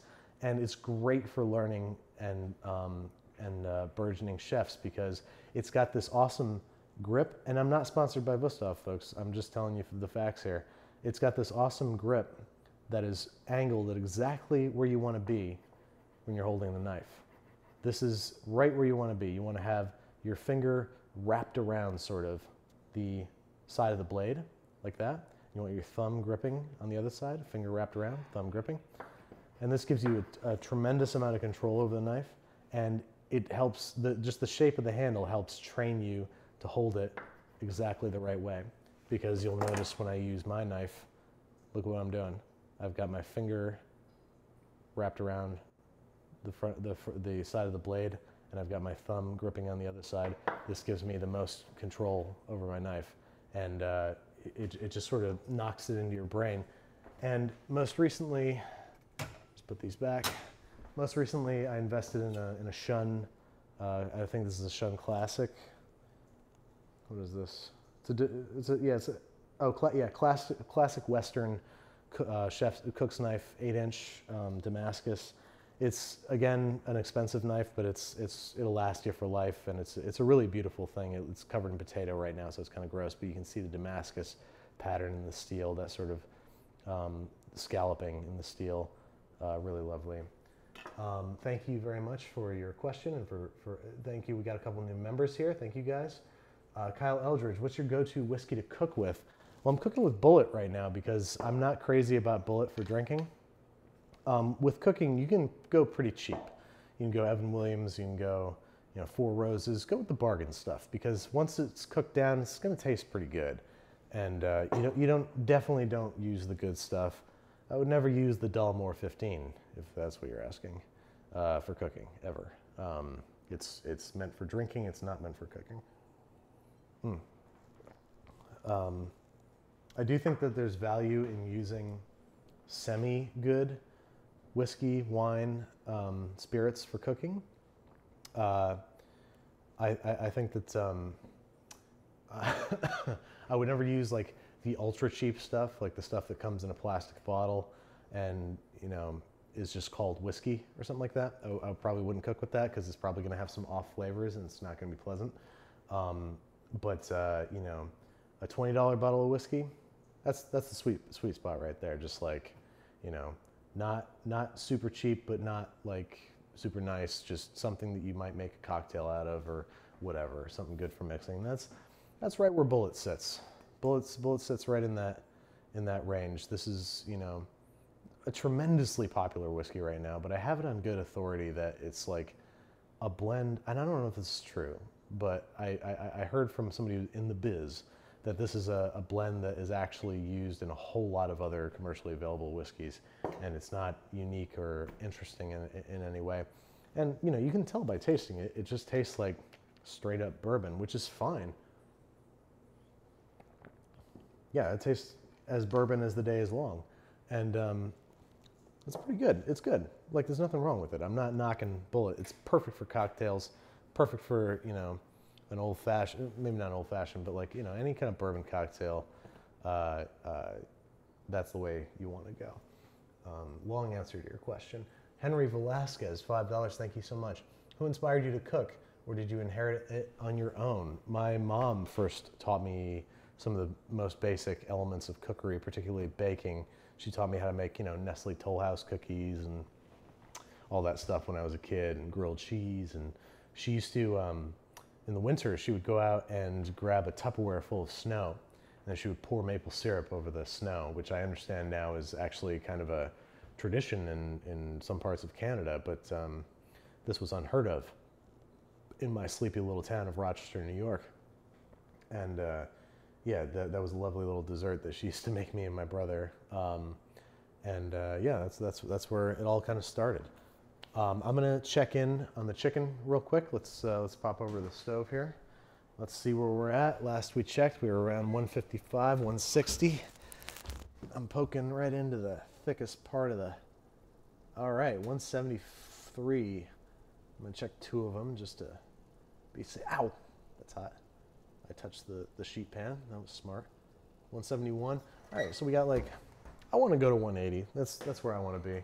It's not about a food safety thing. It's about the fact that um, chicken thighs are very rich in fat and collagen connective tissue, and they need higher temperatures to break down than white meat. You don't want to go above 155 on white meat. Um, I usually cook to 150, sometimes even 145 if I'm very sure that my chicken is from a, a good, reputable source and it's not going to make me sick. Um, chicken breast dries out in a heartbeat, but you know, chicken thighs, you can braise them to death. You can do most anything to them, and uh, they're, they're, still going to be pretty delicious. Um, we got, let's see. Okay, thank you very much, Super Chatters new members. Thank you to the 6,100 people watching right now. Really appreciate you guys coming and hanging out. We're making some basic uh, weeknight meals right now. What we have in the oven, for those of you just joining us, we have some uh, crispy chicken thighs with um, sweet potatoes, apples, uh, bourbon, and sage, fresh sage, uh, which is a lovely little weeknight meal that you can whip together like that. And uh, what we're prepping for here, and we need the oven for it, so that's why we're waiting for the chicken to finish cooking, uh, is a sheet sheet pan dinner, which is just making your whole dinner, all three, you know, protein, starch, vegetable, all on one sheet pan, and um, it's uh, it's very easy and uh, uh, dish-wise, uh, very very easy because all your really your only thing, the only things you're making dirty are your knife and a sheet pan. So I mean, how much easier can cleanup possibly be? And dishes they eat on. That's about it. Uh, and we're going to make a very simple vinaigrette for the top of the salmon out of mustard and um, and uh, what else is going on there? Mustard and olive oil and um, lemon juice and parsley. Just like very super simple but very flavorful. Just just something to wake up that salmon. Uh, roast salmon on its own is actually really nice. I like it with just salt and pepper. But then you throw a little vinaigrette on there like that, and it just really makes it more exciting and makes it uh, more into um, something you're looking forward to eating rather than something you have to eat. You know what I mean? Uh, we got a new member, Mr. Mr. Blum, 22. Mr. Blum, thank you very much for joining the Binging with Babish family. Um, Jake, we have any uh, questions that you've been waiting to, to ask? Uh, well, I'm surprised to see how many people want us to use the old Frasier song as the lo- as the you know intro music, which you did back in the day. I'm I'm honored by that. Maybe we'll uh, give a call into the licensing at I don't know 20th Century Fox or whoever owns that song, and uh, see what I'm we can do. I'm pretty sure we can get rights to the song if everybody just tweets. I'm kidding. Um, Couldn't hurt. That's though. not Couldn't true. hurt. everybody um, tweeted okay, NBC. Okay. Give Babish rights to the Frasier theme song. I've got a good question for you, actually. So hit me, hit me. Uh, guy, guy named Alan Anderson gave you 10 bucks, right? Thanks, Alan. Thank you, Alan. He said, I live in my semi truck. Can you make some easy one person meals? I have a crock pot, single burner gas stove, and a toaster oven that can fit a nine inch pizza. That's interesting, man. That's a very That's a lot of challenge. tools. Yeah, no, th- that's definitely more tools than I would have guessed. And uh, you, there's so much that you can do with that. It's particularly a slow cooker. I mean, that's a that's a meal maker right there. Um, I should definitely do an episode of Slow Cooker Basics. That is for sure. Um, oh yeah, the thick boys love slow cooker basics. All the thick boys out there, trust me on that one. I trust you. Um, slow cooker basics is definitely a good idea. Definitely something that we should look into.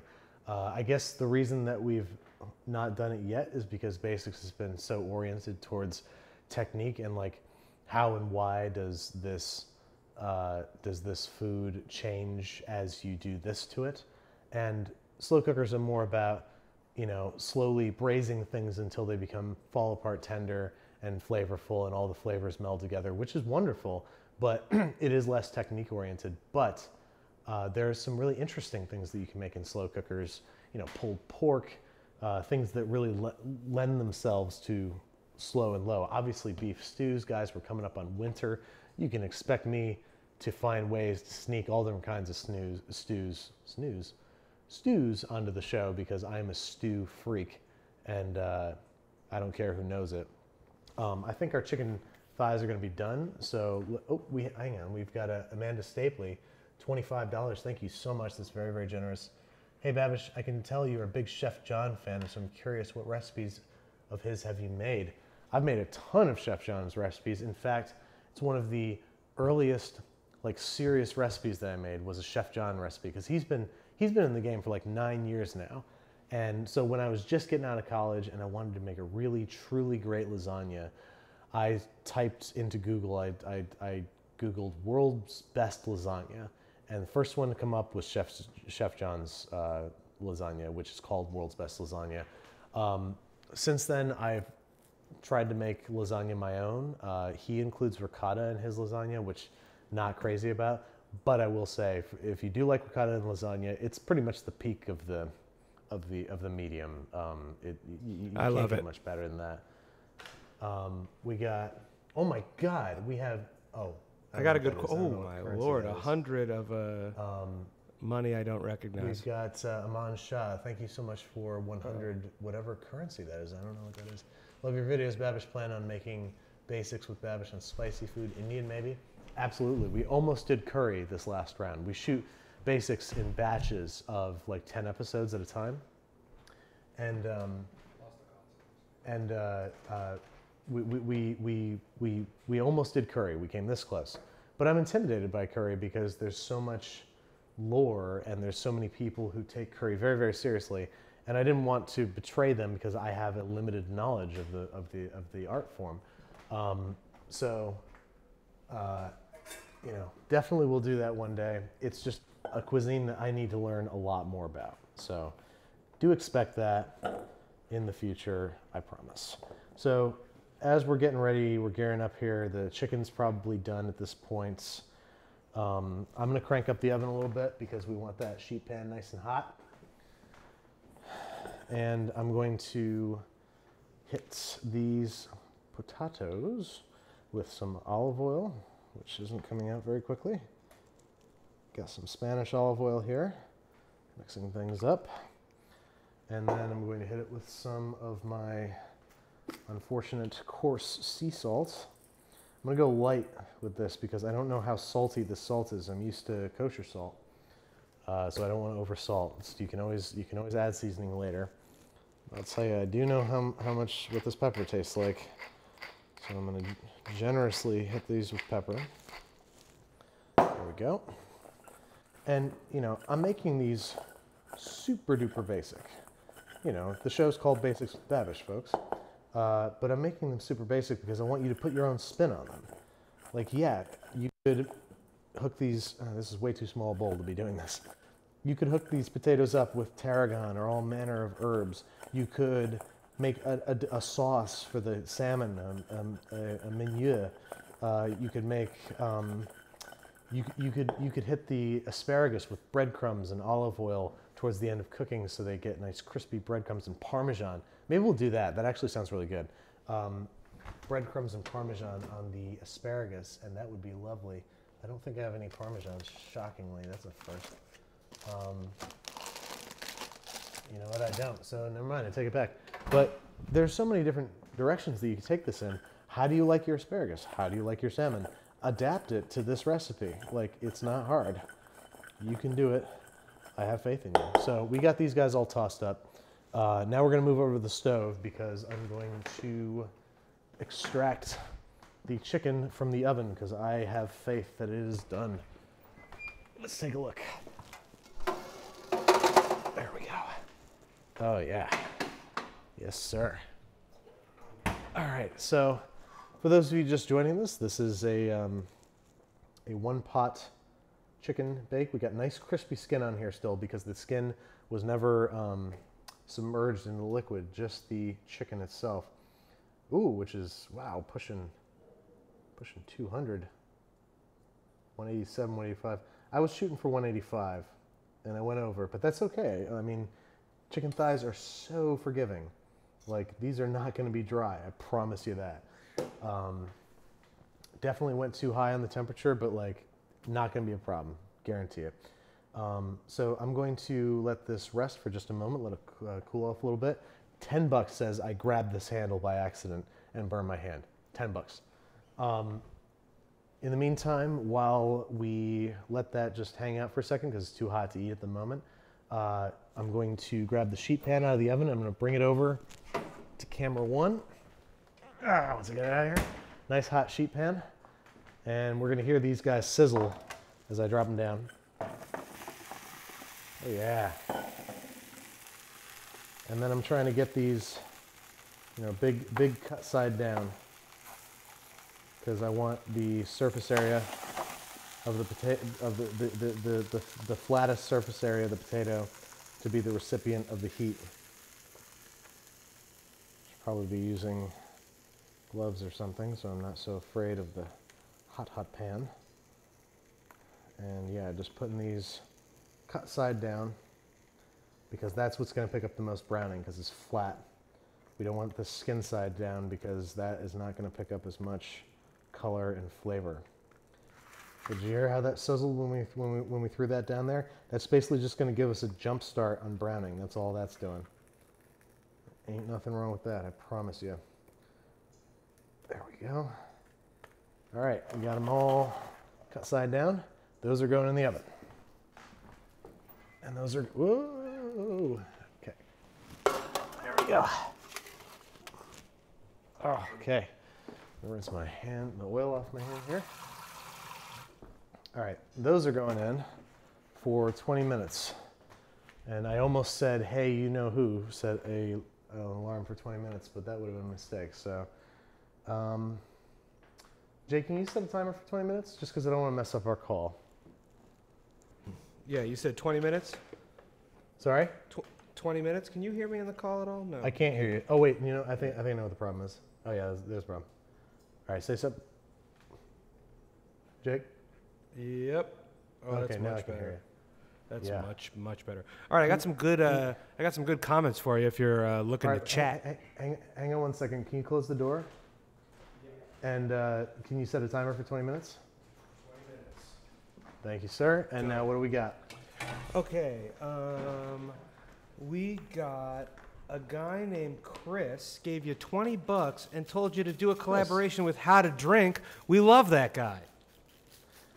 Chris, thank you so much for, for your very generous, uh, very generous contribution, um, super chat giving, and it was very, very nice of you. And yes, we do love How to Drink. We are dear friends of, of Greg from How to Drink and um, are huge fans of his show. And you can expect some collaborations from him and I in the near future. We're thinking of doing a Christmas cocktails special. Uh, I'd be doing, of course, the very basic cocktails, your, your, um, your eggnog, your, your, your buttered rum, and other things that you might expect around the holidays. And he'd do the more advanced, more um, exciting, kind of thoughtful stuff because that's what that's his jam. He's he's very good at that. Um, thank you so much for your contribution. What we're gonna do now is uh, play it up because I think we're ready yeah, to and go if here. anyone out there hasn't checked out How to Drink yet, some of the nicest slow motion photography, slow motion video you're going to find on YouTube today. Yeah, anybody that's a camera nerd out there, they shoot all of How to Drink on red, and they do beautiful slow motion shots of the, uh, you know, the alcohol being poured in and the ice being broken and all the, all the, all the, all the porny action shots. They're, they're, you know, they're, they're making them look beautiful, and it is an informative, entertaining, fun uh, uh, ch- uh, YouTube channel about making cocktails. So you like cocktails, go check it out. It's called How to Drink. Thank you so much again for your contribution. Now we're going to plate up. So I'm going to grab myself a nice chicken thigh here, nice crispy chicken thigh. There we go. It's going to be, uh, you know, There we go. Oh yeah. That beer's all nice and soft. Maybe I'll get, grab a spoon for this part. Let's get a spoon going. And uh, you know, on, on, the show, I added some nuts. I added some pecans, and that, that's definitely. You know, I still have some actually. Hang on. I'm gonna grab those pecans. It's a very small portion, but you know, just roll with me. Um, here we go. Got some pecans here. Just grabbing these. These are all toasted up. I toasted the whole batch and then put them back in the bag because I'm smart like that. Um, and so I'm just gonna hit these with a couple pecans here. How do you guys say pecans? You say pecans or pecans? There we go. And uh, you know, it's looking a little bland, so let's add some color. I'm gonna head over to the uh, the wall farm over here. You know, we've got a um, we've got one of these uh, uh, uh click and grow style deals here where I've got some fresh herbs growing, and um, I'm just gonna chop up a little bit of fresh fresh chives straight from the garden. Can't get much fresher than that. Freshly picked. And this is to add some flavor and some color. And I forgot to add maple syrup again. Oh well. I really think sweetness would do wonders in this dish, so I am recommending that you try that. Maybe I'll, I'll add some to the to the uh, to the rest of the batch and just do a little taste test, and we'll see if it's any good. Uh, all right, so that's adding some nice color. That's adding some good flavor. Get all that out of there. Optimize your dish. And let's dig in. I'm gonna try some. Now what I didn't do was taste the vegetables for seasoning, and that's a mistake. Um, so we'll see how that worked out. Hmm.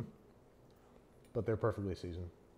Oh yeah, the onion was so missing from from the last round. Got to add onion. I'm gonna add that to the recipe on the website. We got perfectly cooked chicken. Oop, knocked, knocked it right off my fork, but you can hear the crispness of that skin. Mmm. Hmm. I mean, this is just a, a chicken thigh that has been hit with salt and pepper and cooked properly, where the meat is is properly tender and the skin is totally crisp. And that's it. It braised in the liquids from this uh, this uh, recipe a little bit, but mostly it's just chicken and it tastes fabulous. When you cook chicken properly and don't dry it out and include the skin and season it well, cook it cook it well, it's wonderful. It's amazing all on its own. Mm. Oh, and this is my actual dinner, folks. I have not eaten dinner, nor has Sawyer. So once I'm done here, I'm to fix him up a plate.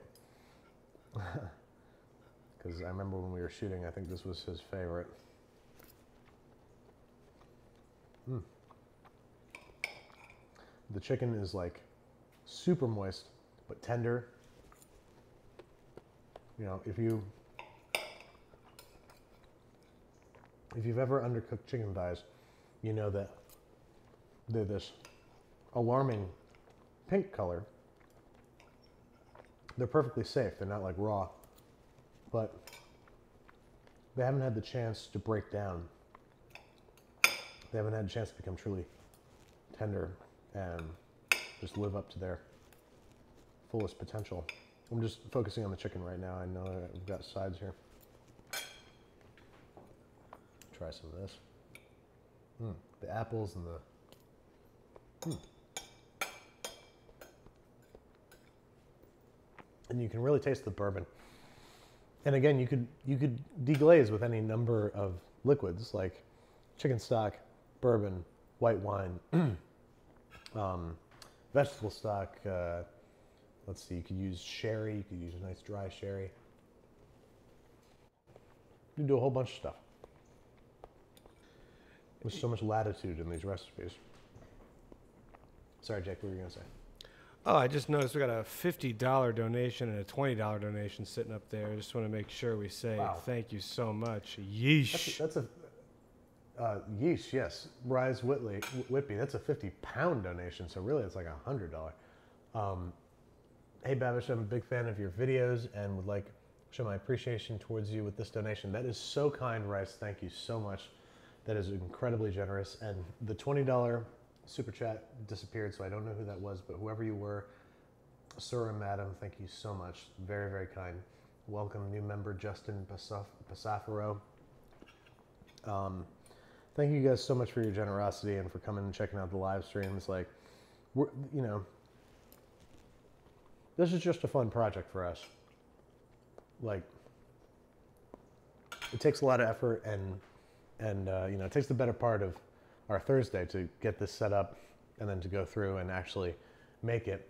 And um, you guys are always so chill and so so so you know contributory and kind and we can't tell you how much it means to us. Like it's really very special the uh, the interaction that we get with you guys. Um, so thank you. And now I'm gonna have one more bite and then I'm gonna fix up a plate for my man Jake. While you're fixing up a plate for the old man me, you want to answer a question about grape allergies? I'd love to. This You one, uh, yeah, this one hits close to home for me because my wife is allergic to a whole bunch of stuff, real funny stuff too. But uh, Steve, Steven Shirkus asks, a lot of recipes ask for a deglazing with wine, but if you're allergic to grapes, you can't deglaze with wine. So his question is, can you deglaze with anything else? Yeah, I mean, you know, um, it's really going to be recipe dependent. Uh, in most cases, I would say, you know, if it's savory, if it's uh, chicken or beef or pork based, use chicken stock um, with maybe a little bit of vinegar, just a little bit, just a, uh, just enough to give it some acidity. Um, if it's uh, something sweet, you could go with. Um, is sherry made from grapes? What is sherry made from? It's fortified. Uh, I wine, so believe it is. ne- yeah. ne- ne- never mind. Um, but you know, you could try other spirits. You could try bourbon. Bourbon's not made with grapes. I know that. Um, don't take my word for that. I don't want any. I don't want to be responsible for any uh, allergy attacks. Um, so let me just uh, fix up a plate for the old man here. You know, I'm, I'm, right. I'm going to experiment on you a little bit. I'm going to try. Do it. sorry, You, you, you go for it. Uh, no, go ahead. Experiment on me. Go on. I'm gonna add just a just a hint of ma- maple syrup to the. Also, I, I just want to throw this out here to the uh, people who know what they're doing in the chat. Um, I'm hiding all of the racists and anti-Semitics and reporting the particularly gruesome ones. Is that best practices? Thanks so much. Um, the uh, the the other thing I need to mention is that we got a seventy-five dollar wow. chat from the great Kyle Eldridge. Strong name, Kyle Eldridge. And This is a strong uh, his question is one that I know you're going to like. You talk about this all the time, online and offline, uh, public and private really persona. right up. The uh, the question is: Is there one tip or secret that stands out more than the rest to help not dry out a boneless, skinless chicken breast? I mean, yes. Um, I will address that momentarily. Kyle, thank you so much for your extremely generous donation. Uh, Jake, if you don't mind, I'm gonna forego the chives for you here. Um, this is this is ready to go. When I, yeah, come on and get it. Let me get you a knife too.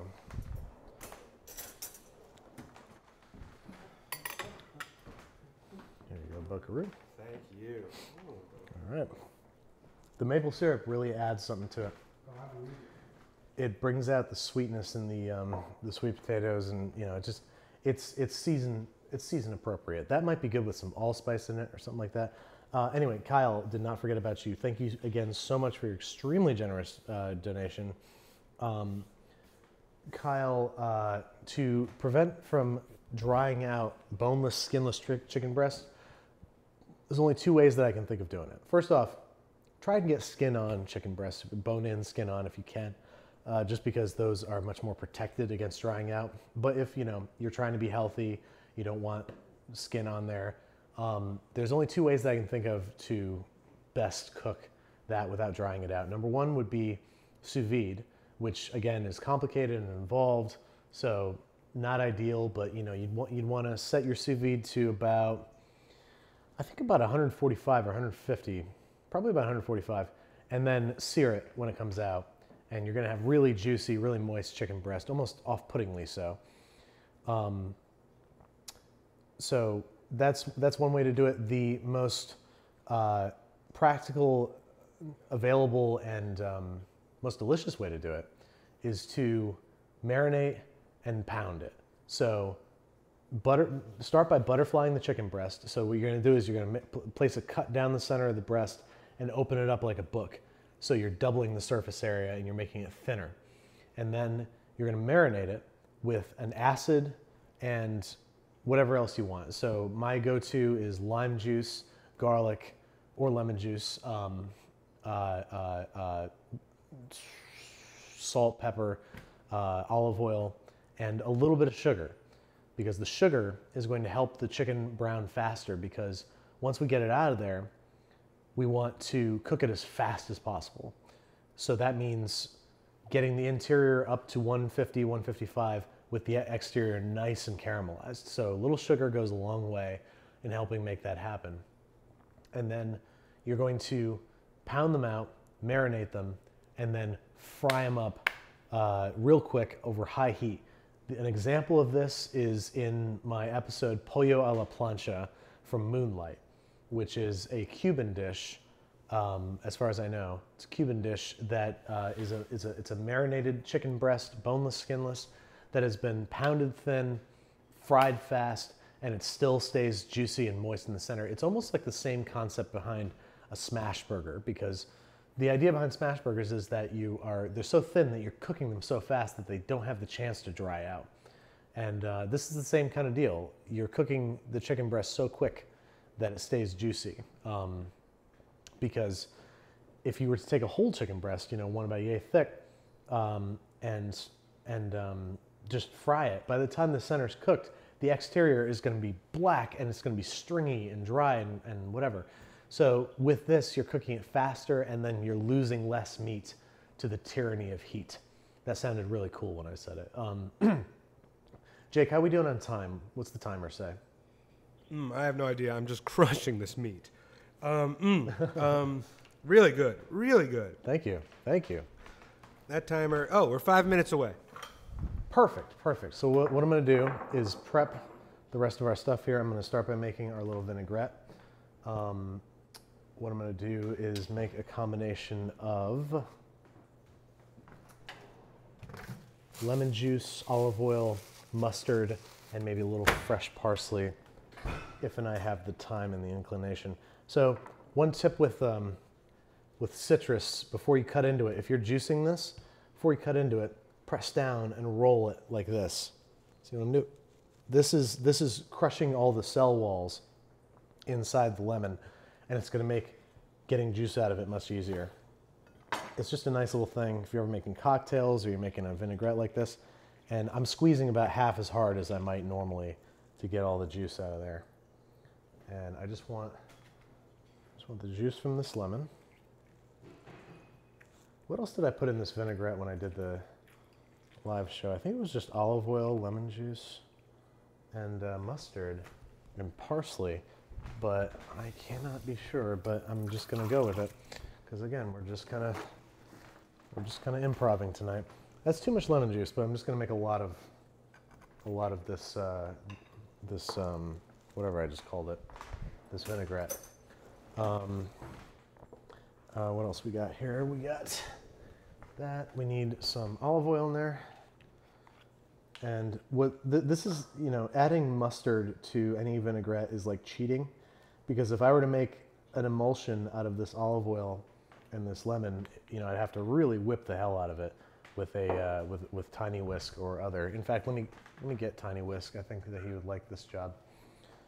Fans of the show might know this little guy, and uh, I'm just going to hit this with a little bit of salt. I'm trying to season the salmon completely. So it's going to be a, a, good amount of salt because this is going over four salmon fillets. I want them to be thoroughly seasoned. So a decent amount of salt and pepper. There we go. And uh, Jake, if you want to if you want to pull up a question, I'm about to head, head over to the um, the herb garden again. And I, We don't have an herb garden camera.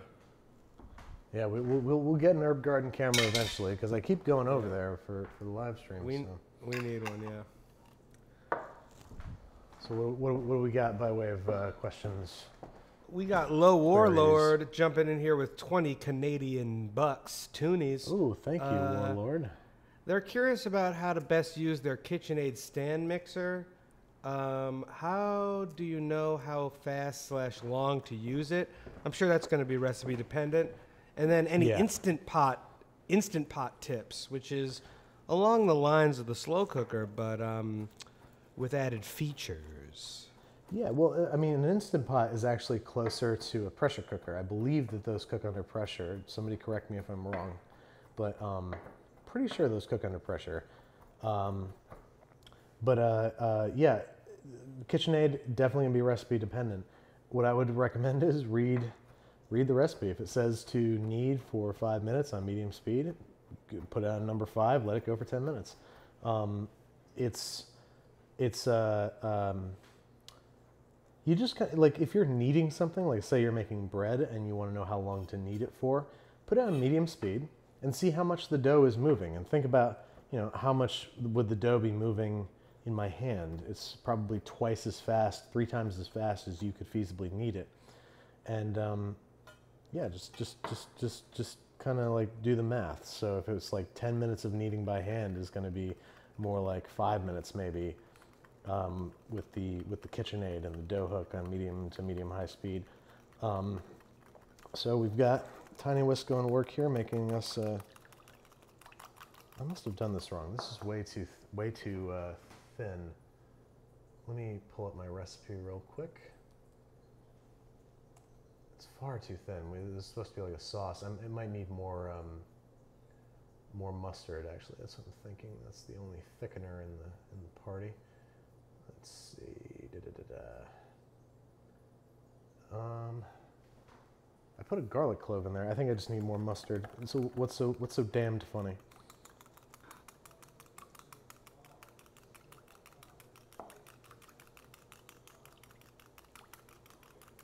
Oh, Could be worse. My mic, Yeah. my, my mic wasn't on. I, I was just saying that uh, this guy Dahl spilled hot chocolate in his space heater. Not a bad, not a Oh. bad idea. Yeah, I mean, I wouldn't recommend. I, I can't. I can't recommend it because it could be a fire hazard. But, um, you know, there are more. There are less creative ways to. that uh, was your five minute warning. Oh, I'm getting- Okay, thank you. Yeah. This Yeah. is still not thick enough. I want this thicker, so I'm gonna keep adding mustard. I mean, mustardy salmon ain't exactly a bad thing, so I'm not too worried. There we go. That's what I want. Nice thick vinaigrette. I think it's because I had a shit ton of lemon juice in there. Um, keep adding mustard till I get the right consistency here. There we go. There we go. I want something spreadable, something I can really pile on there. There we go. Add a little bit of this parsley to this. Save the rest for garnish. There we go. Let's give this a little. Hmm. I mean, it's very mustardy, but it's also got plenty, plenty of um, of uh, lemony goodness. So we got ourselves our vinaigrette there. Now let's move this off to the side, and then we need to just get our salmon out and ready. We need to make sure that it's uh, deboned. That's some. That's a big problem with um, salmon you get from the store, is that uh, they don't always get all the bones out. So I'm to pull the potato, potatoes out, take a look at them, see how they're doing. Uh, shake them around a little bit, make sure that they're not sticking too much. See what kind of color we're looking at here. Oh, they sound good. Let's see. Are we looking at? Oh, some nice color. Not quite enough, which is perfect because I'm oh, sticking a little bit. It's okay. They're all coming right off. But let's let's take a look at the color here. See that? got a little bit of color, but we could definitely use more. So I'm just loosening them up. The ones on this side, the ones on this side of the tray have good color because they were towards the, um, you can't see that, can you? Here, I'll pull it up.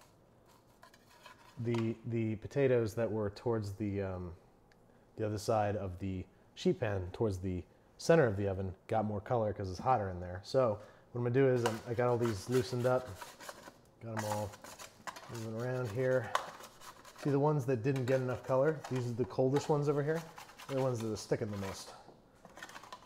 Ain't life ironic? So, what, is that ironic? I don't think it's ironic. Um, so, we're gonna let these go a little bit longer. I want them nice and crisp. I'm also gonna start moving them over to the side so we have room for our, uh, our salmon and our asparagus. I'm also going to flip it around because I want the other side to be exposed to a bit more heat.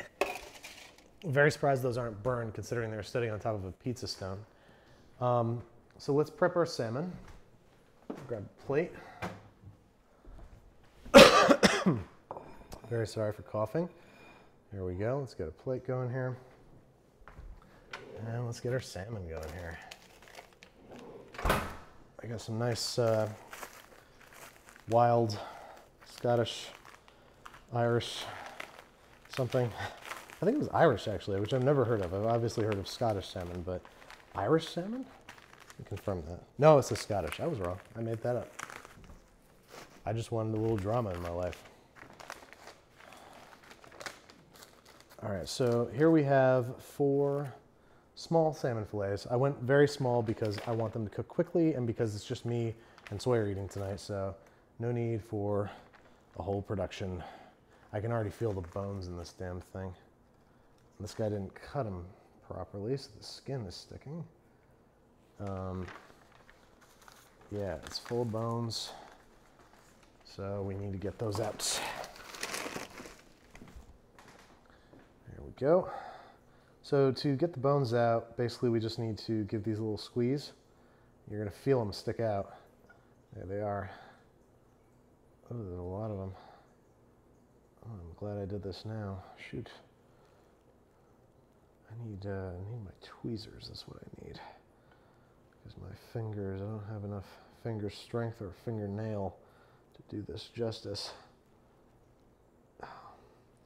Mustn't stab ourselves in the mouths with bone. Get out of here.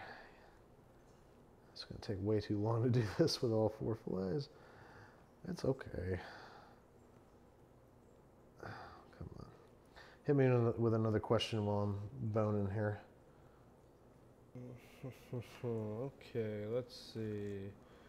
Um, we had some questions about your where you hung out and uh, lived in the great city of Rochester. Well, I am indeed from the great city of Rochester. Uh, I grew up in a little town called Mendon, most famous for its cornfields and four-way stop sign. Uh, I then later on in life, uh, actually in college, my parents moved to another place called Pittsford. Uh, as for as for hangout places, um, you know, when I was trying to impress my girlfriend at the time, we'd go to the spots for coffee. We'd uh, we'd um, go to tastings by Wegmans. I mean, we'd spend a lot of time at Wegmans. I mean, Wegmans is the shit for anybody from upstate. I know that they're going to be blowing up the comments right now uh, saying how awesome Wegmans is because that's the truth. It is the finest grocery store known to man, and uh, I am as proud of it as, as a, a, a, a, father might be of a son, even though I didn't. I had nothing to do with its inception, but um, oh, there's a bone in here that just does not want to come out. There we go. Come on. Oh, this is loaded with bones. You got to be careful. These aren't going to like mess up your mouth too bad or anything. They're not going to cut you, but boy, if they aren't really unpleasant to bite into. Normally I'd be using tweezers for this, but I don't know where my culinary tweezers are. So I'm just using my human fingers. As, Jer- as Jeremy would say from um, Peep Show, your disgusting human fingers. Oh, this guy feels pretty bone free. You just got to squeeze. I'm just taking the whole thing and I'm squeezing it length uh, widthwise, and and uh, that's that's going to indicate to me if there are any bones in there. All right, so now we've got um, our vinaigrettes, which we're going to just kind of. There we go. We're just going to coat these guys up with the vinaigrettes. There we go. Oh yeah. Uh, Death do, uh, Metal Fun Zone. He said, "Let's get this salmon out on a tray." Let's get these salmon out onto a tray. Nice. Okay. Any Steve 1989 MRE fans out there? Because we are one of those, two of those. We are fans of his. Uh, Steve, for those of you who don't know, Steve 1989 MRE is the most relaxing, sweetest, most interesting channel that I've come across uh, in some time.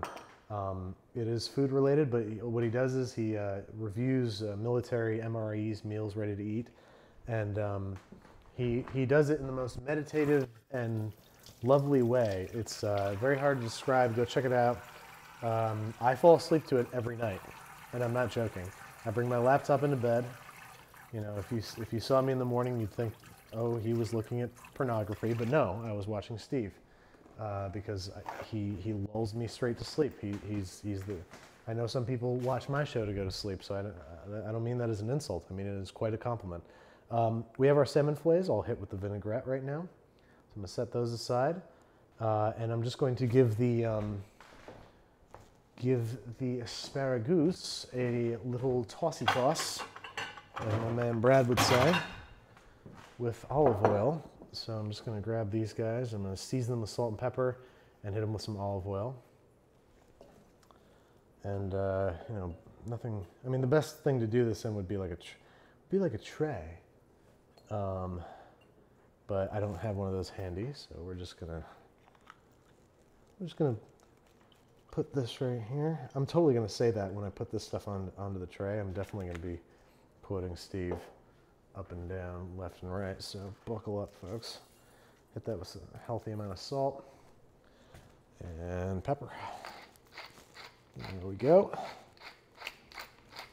And then I'm simply going to give these a little tossy toss. I'm just quoting YouTubers left and right here. What other YouTubers should I quote? There's um, there's Chef John. So you after you are after all the um, the uh, I can't think of anything that rhymes with asparagus. um, you um, you are after all the Marvin Gaye of your salmon fillet. Huh? That was good. Thanks. Yeah. okay. Um, uh, I think you should all be aware that the uh, the chat is trying to play a prank on us, play a prank on us, I should say, and it's working. They keep telling me there's a spider in the on the screen, and uh, I've I've looked for a spider like five times so far. So uh, well, you're scaring that me. I don't like that. I don't yeah, like spiders. they, they just say spider, watch out, spider, Ah. and every time it gets. You guys are mean. You guys are mean. There's no big. There's no spiders big enough in New York that that you could possibly see them from that far away. Okay, so I'm gonna grab the tray. I'm gonna grab the tray, and then we're gonna get all these out onto a tray. Here we go. Potatoes are looking good. I'm gonna give them a little shake, make sure they're loosed, so they're moving around not sticking. They got some good color going on. And uh, how about let's move it over to this camera. And uh, what I'm to do is just sort of push these guys over as far as they'll go. You can they have all the all the color that they need now. You see they're nice and brown. So stacking them up doesn't really matter. Like you'd never bake potatoes like this because it would be a disaster. You'd, you you you'd, I'd never forgive you. But now that they've browned up, they've got all the all the Maillard they need, and they're nice and crisp. They're not going anywhere. Don't you worry about them. And uh, so now we're just going to, you know, I'm going to oil this first because I forgot to oil my salmon fillets and they're going to stick like glue if I don't. So I'm just going to hit this with a little bit of oil. Come on. There we go. A little bit of oil. And uh, spread that out a little bit. So, just because we, we just want to lube up for the for the salmon fillets. There we go. Hit me. Like you personally? Huh.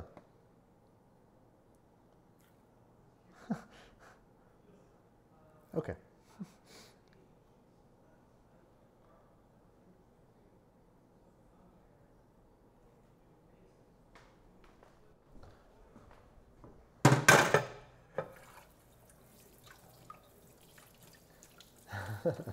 um, that is a valid question. Just so, and first off, just so everybody knows, I'm washing my hands right now, getting them nice and clean.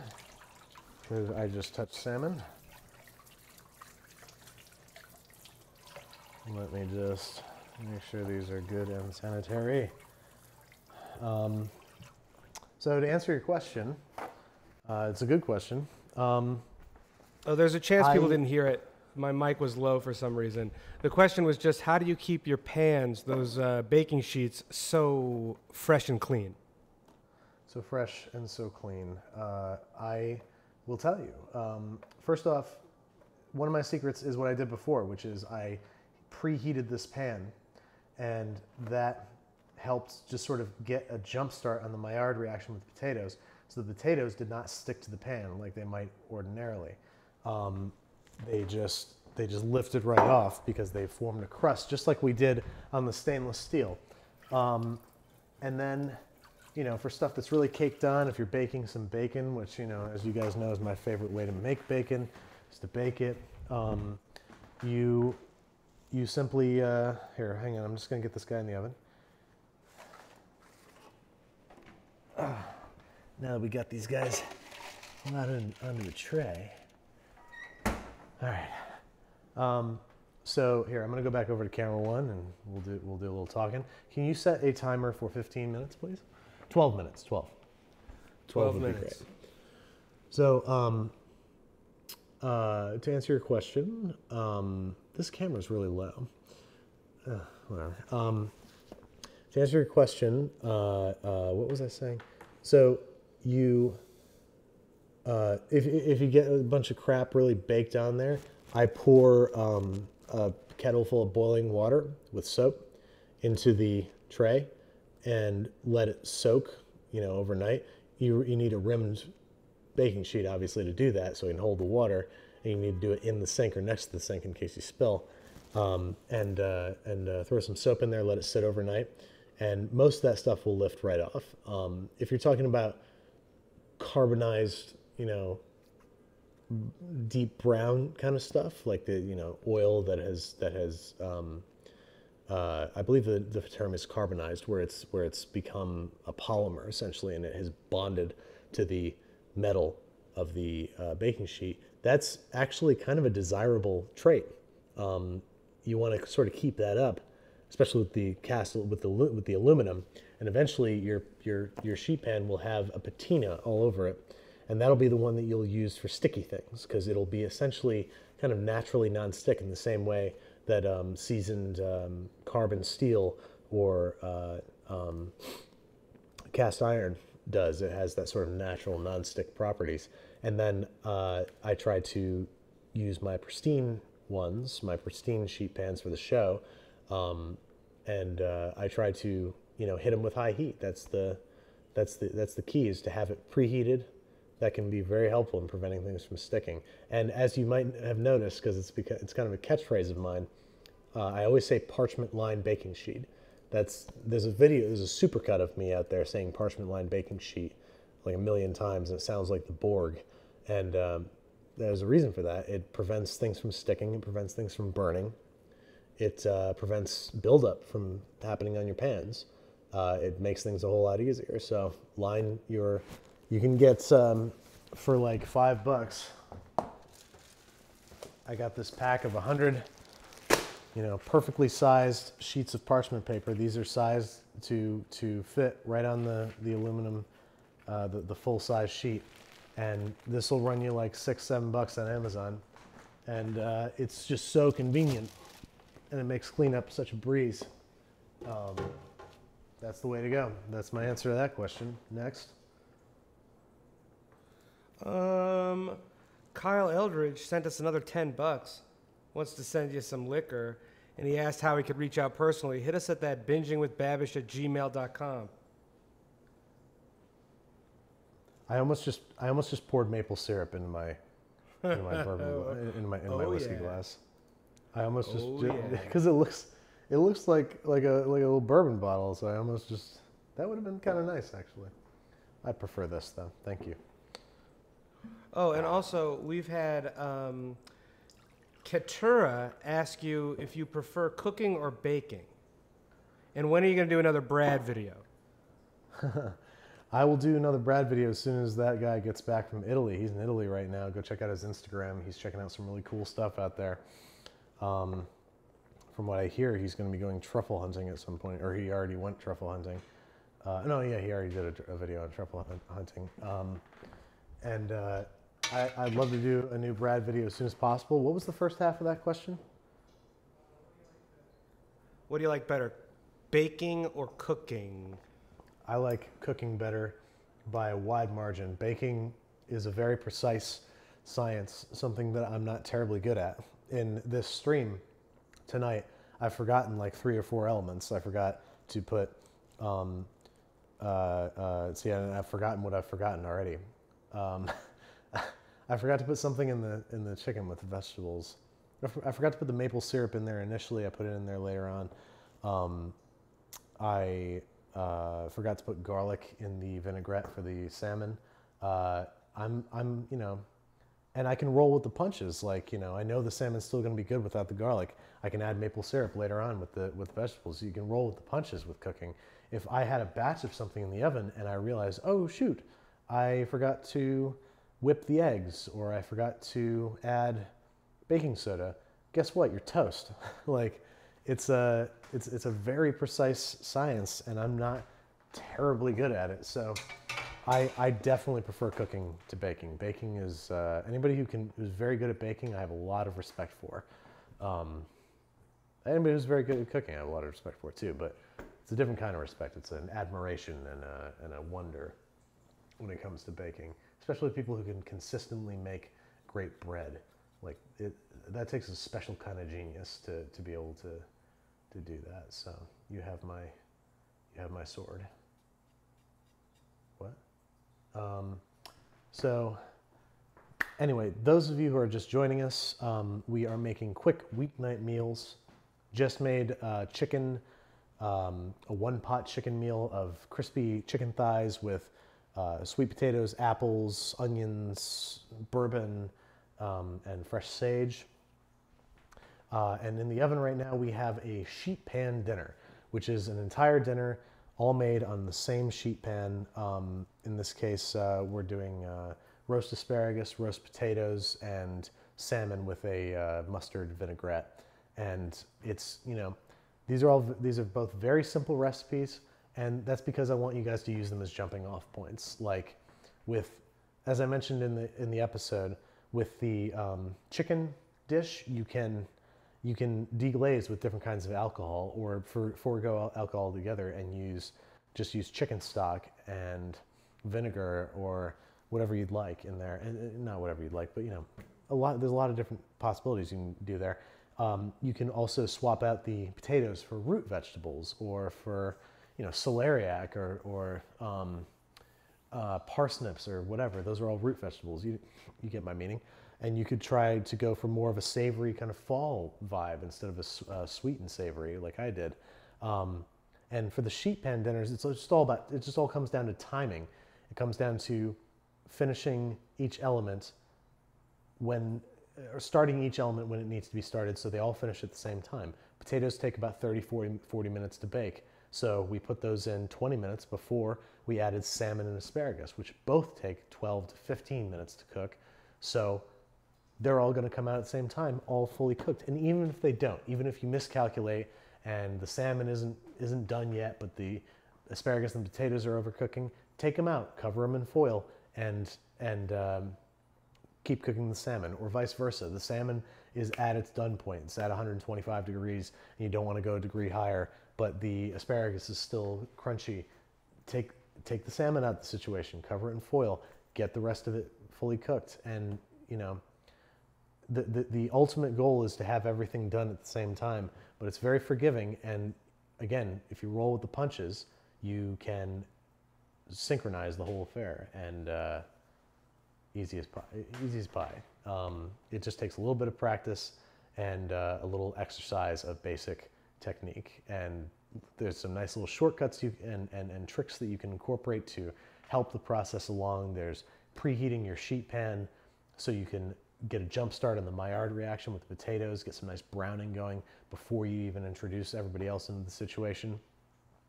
There's, um, you know, there's uh, uh, uh, braising the chicken thighs above the liquid, semi-submerged in the liquid, so the skin is still poking, not submerged and not uh, underneath anything. So the skin stays crisp and the meat gets juicy and tender. Uh, you know, these, these, are, these are very universal things that you can make your own and, and, and experiment and play with, and you're going to end up with something delicious. Um, so, yeah, tonight we're making weeknight meals. We are waiting on the salmon to come out the oven. I'm going to take a look at the comments here. We've got, um, let's see, Malagron, thank you very much for a $10 uh, super chat. Really appreciate it. Is there a rule of thumb for how long sous vide meats that are frozen versus thawed? there's no rule of thumb. It's going to depend on the thickness of the meat, the kind of meat, um, pretty much those two things. Uh, uh, you can look up charts if you search for sous vide um, temperature time charts. You can find charts that, that depict how long, say, steak or chicken or pork need to be sous vide from frozen or from fresh. It's going to vary wildly depending on what you're making. Um, so yeah, there's no rule of thumb. There's no consistency there. Any given thing that you take out of the freezer and sous vide might need to be cooked at a different temperature than anything else uh, or a different amount of time. So look it up. Don't don't. There's no sort of tried and true with that, unfortunately. I missed the other. Oh, Christopher Renninger. Renninger. Uh, what do you recommend for a good budget chef uh, chef knife? And we covered this before, but I'll just do it very quickly. The Wusthof Pro, uh, Pro line, 8-inch chef's knife. Very cool because it's got a handle that is perfectly designed for teaching you how to properly hold the knife uh, with your finger sort of wrapped around one side and your thumb gripping the other because of this curved handle. You can see that there. And uh, it's great for learning. It's nice. It's wicked sharp, and it's only 20 bucks. So ch check that out. Pardon me. Wusthof Pro line. Thank you so much for your generous donation. Um, yeah, I'm just catching up on comments here. Something, something right here. I'm way behind in the comments. Steampunk Risen asked for uh, any recommendations for cheap meals. These, these are cheap meals. Um, chicken thighs are inexpensive because uh, American, at least in, in, in America, uh, chicken thighs are less expensive because Americans, for some reason, vastly prefer white meat. Um, so white meat is very expensive. Uh, the more boneless and skinless it becomes, the more uh, the, the more boneless and skinless the chicken is, the more expensive it becomes. Um, so bone-in, skin-on chicken thighs are going to be some of the cheapest cuts of chicken you can find. Um, and uh, you know, salmon is definitely more expensive, but you could get farmed salmon. You could get some, you know, you can get all this stuff at the supermarket, and I'm betting that you could pull it off for 20 bucks and you could feed four people no problem. Um, and that's less than you're going to spend at McDonald's, and you're going to have a more filling, way more nutritious meal. Uh, and I think, I was about to say tastier. That's not true. I'm sorry, but very few things in this world are as delicious as a Big Mac. Um, hmm. Let's see. Get a huge screen for chat, Babby. That's true. Dude, I we have a TV in here. I should I should hook my laptop into the TV so I don't have to. That's a really good idea. Also, the uh, salmon should be ready. Oh, timer. the timer went off. All right, let's take a look here. Let's go over to camera two. It's looking good, but let's take its temperature. These are very small, thin cuts of salmon, so they're they're to be done pretty quick, but I bet they're not done yet. I was setting the timer to be um, as uh, forgiving as possible here. All right, so we're one, ooh, wow, one, What do we got here? 122. Check this guy. Oh wow, these are done. I don't believe it.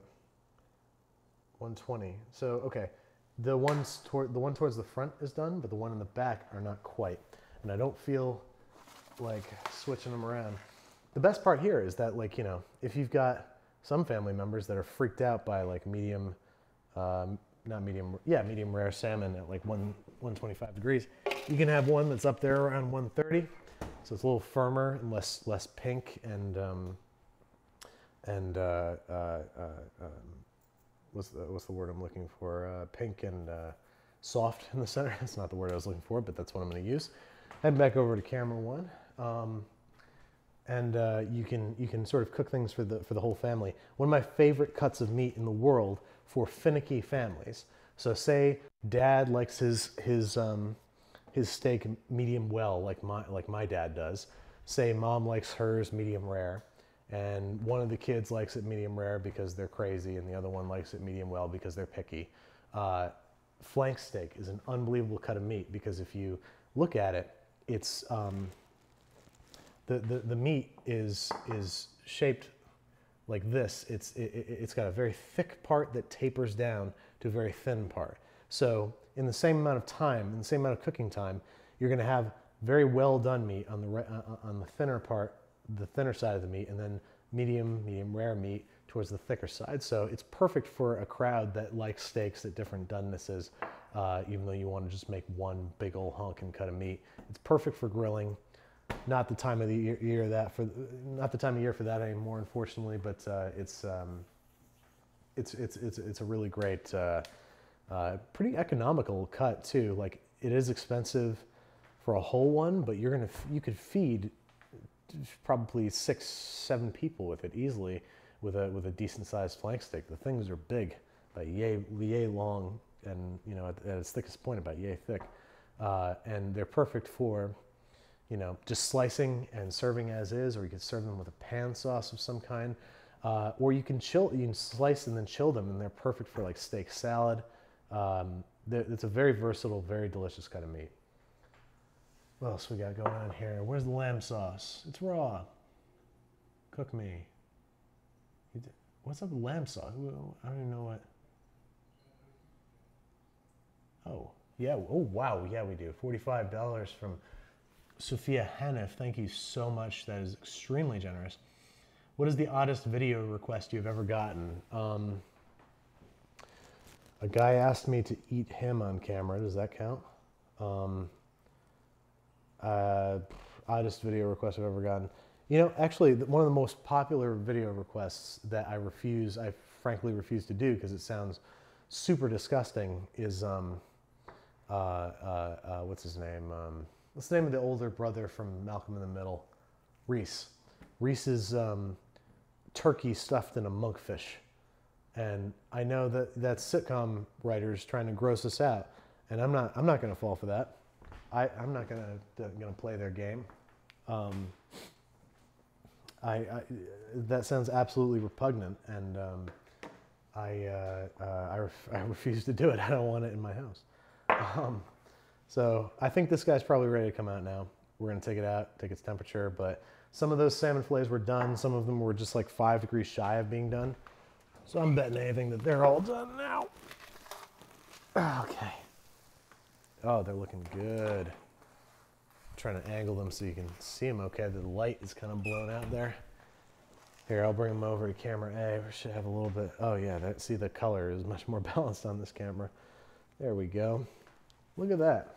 We got ourselves a meal, and that took like none time. Okay, I'm gonna garnish the uh, salmon with a little bit of parsley, a little bit of freshly chopped parsley.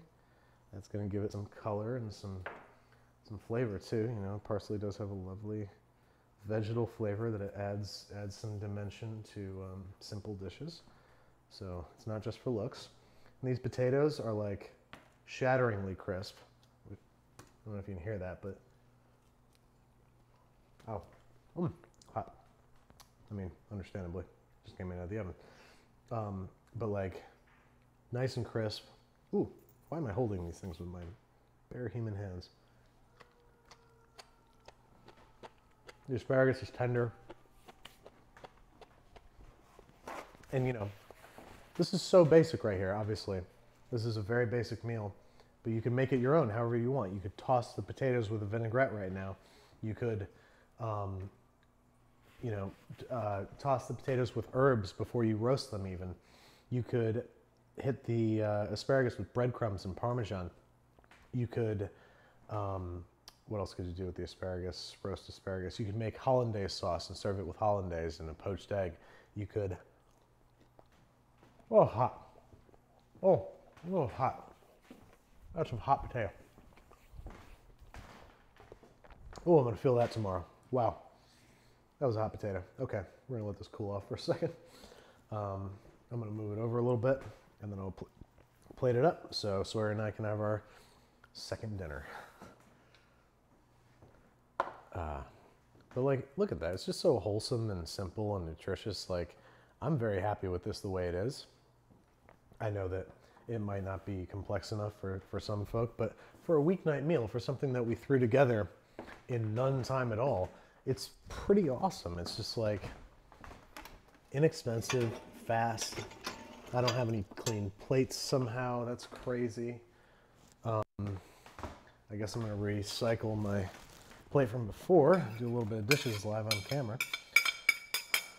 That's exciting, right? Viewership counts just plummeting. Um, I just need to wash the plate real quick, folks. Pardon me. What kind of questions we got? Anybody uh, need to know anything? Oh, we got a request to do basics on potatoes. We got uh, 10 bucks from Jelaine Johnson. Loves the channel, has learned a lot. We really appreciate that. We really love hearing people who are, you know, cooking and trying things out and keeping themselves well fed. It's a nice thing to see, and we appreciate you letting us know. Thank you so much for your very generous uh, contribution. Thank you for um, for for sharing that with us. We definitely do love hearing how people are using the recipes and and uh, learning any, anything from you know somebody who's learning themselves. Like a lot of times, you guys are seeing me make things for the first time on this show, so we're learning together often. Um, all right, so we got a nice clean plate here. Uh, and I'm gonna go ahead and serve up here. I'm gonna grab some asparagus. Get some of that smelly pea going on. Sorry. Um, grab one of these salmon fillets, which slipped right. Oh, I lost the skin, but that's okay. I don't. I don't like salmon skin. I tried to prevent that with the um, with the oil down, but apparently that wasn't enough. And then some nice crispy potatoes. Oh yeah. And there you have it, like super easy. To angle this so we can see everything. There we go. Super easy, super, you know, simple, inexpensive, nutritious, uh, relatively healthy. I mean, potatoes are not like the healthiest thing in the world, but there's certainly there's definitely worse out there. If you're talking about this versus McDonald's, sorry I keep bringing up McDonald's. Like I know that's kind of a cliche, but um, it's uh, it's just a, it's just a matter of like uh, this is really tasty, inexpensive, easy to throw together, and uh, let's let's give this salmon a shot. Mmm. Mmm. Lemon, mustard, a little bit of the, the parsley, and that like you know, nice oceanic salmon flavor. I just see the most beautiful potato here. I want to eat it. I know it's not on my plate, but. Mm. Potatoes are crisp, and you know, they're just salt and pepper. But like, how can you go wrong with just simple roasted potatoes? And the asparagus, again, just salt and pepper. We're let we're letting the ingredients sing. But even if you didn't want to do that, if you wanted more complex flavors, more interesting stuff going on, by all means, you know. Mm. The asparagus perfectly cooked. It's not mushy, it's still got body. The tips are just a little bit crisp just from the heat. You can see that like the tips are splintering up a little bit. Mm. I love asparagus. There, I said it. I feel better. Mm. Try a little bit more of this salmon. And just like that, okay, so it's been two and a half hours. You made two fast weeknight meals. Obviously, these aren't going to take an hour and 15 minutes each.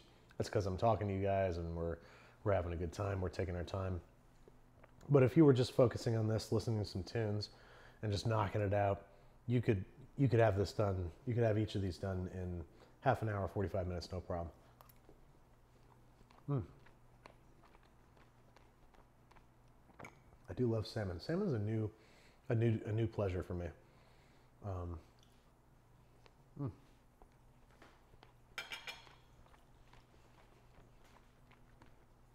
Unfortunately, I'm a little full from the whole dinner I just ate, so I'm not going to eat all this. But mm, those potatoes. Now again, there are ways that you can make potatoes more crispy. You could parboil them. You can, um, once you've parboiled them, Ken, J. Kenji Lopez-Alt pioneered a wonderful method where you parboil potatoes with spiked, spiked in water spiked with vinegar. And then you toss them until they're all rough and craggly, and then you toss them with like duck fat or some other, you know, um, really rich fat of some kind, shortening um, oil, and then you roast them and then all those craggles kind of like soak up the oil and it kind of like deep fries almost in, in its own fat in the oven and you get incredibly crispy potatoes. But it's very labor intensive. This took a few minutes and we've got crispy potatoes. They're not as crisp as kenji's to be sure but they were done in, in 40 minutes like and they're still crisp. Mm. all right jake do you want any of this Yeah, sure. I don't need a full plate. I can just come in there and pick when we're done.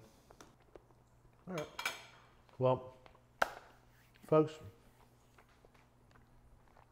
thank you so much for tuning into the live stream. Here, I'll cut, hop, hop down here, change the focus so that I am in focus. There we go. Hey, thank you guys so much for hanging out um, tonight and cooking with me, watching watching uh, as, as as I cooked. Um, thank you for watching the show. Thank you all the uh, the um, super chat folk that uh, that gave such generous uh, contributions to the show. Thank you for your amazing questions and comments and queries and and and for sharing your experiences and and and your critiques and your praise and everything. Um, you guys are the most amazing audience in the world, and um, I'm so thrilled that you're learning anything from this show. And I hope that you do try these yourselves because they're so easy, they're so quick. Um, and if you normally are ordering takeout with your with your with your your special someone, uh, and they you they come home and you've surprised them with you know a home cooked meal as simple as this might be, you know roast asparagus, roast potatoes, and salmon with some some mustard sauce. As plain simple as this might be, this is such a gesture to come home to a home cooked meal, something that somebody paid attention to and put together and crafted and and made just for you. Um, so I hope that you make this for yourself, for someone you care about. I hope you care about yourself too, so that counts. Um, I hope that you make this for somebody you care about and um, and just give it a shot because uh, it's worth it's worth the effort and it's not that much. It's you know talking about 45 minutes active work. Um, and uh, thank you guys so much again for hanging out. I see we're all we're all filtering out now. Um, and uh, have a great night. Happy eating, and uh, I'll see you guys next week on Basics. Uh, I think we're going to be doing homemade pasta part two. I think I'm not sure. Don't quote me on that. That or donuts. One of those two. I've insisted on one of those two. I'm very excited for pasta part two because I did tortellini and brodo, which is one of my favorite things in the whole world. So I made four cheese tortellini uh, in some uh, very flavorful um, uh, stock with Parmesan grated over top. it's one of life's great pleasures. Uh, and even if that isn't next week's episode, donuts are because, and I made um, jelly filled, cream filled, and uh, and sour cream donuts, all of which are amazing. Um, So thank you guys so much again for hanging out. Have a beautiful night. Here's to you, and uh, let's get down to basics. That's not a sign off line. I need a good sign off line. Um, Um, how about see you tomorrow on PSN, Easy Bake Andy, Red Dead Redemption 2. That's that's a good that's a good sign off line. Check out Easy Bake Andy on PSN. Probably gonna live stream to PSN and Twitch or whatever they let us do. I'm gonna be playing Red Dead all day tomorrow. I have a couple calls I, I need to take and I have some writing to do. I, I'm not gonna play all day tomorrow, but I've got my boys coming over here. We're gonna be playing all day tomorrow. We are going to be playing all day, be it me, be it Andy, be it Ari, who you'll meet on PSN. It's going to be great. It's gonna be a good time. Come check us out. Easy Bake Andy. Um, it's just a new part of the Babish comic universe, the BCU. And uh, uh, I hope you guys have a great night. Thank you again so much for hanging out. Thank you very much for super chat. Uh, uh, any any folks who who super chatted. Thank you to my new members. Go check out the exclusive content in the community tab of my channel, and we will see you guys next week. Good night. Here's to you.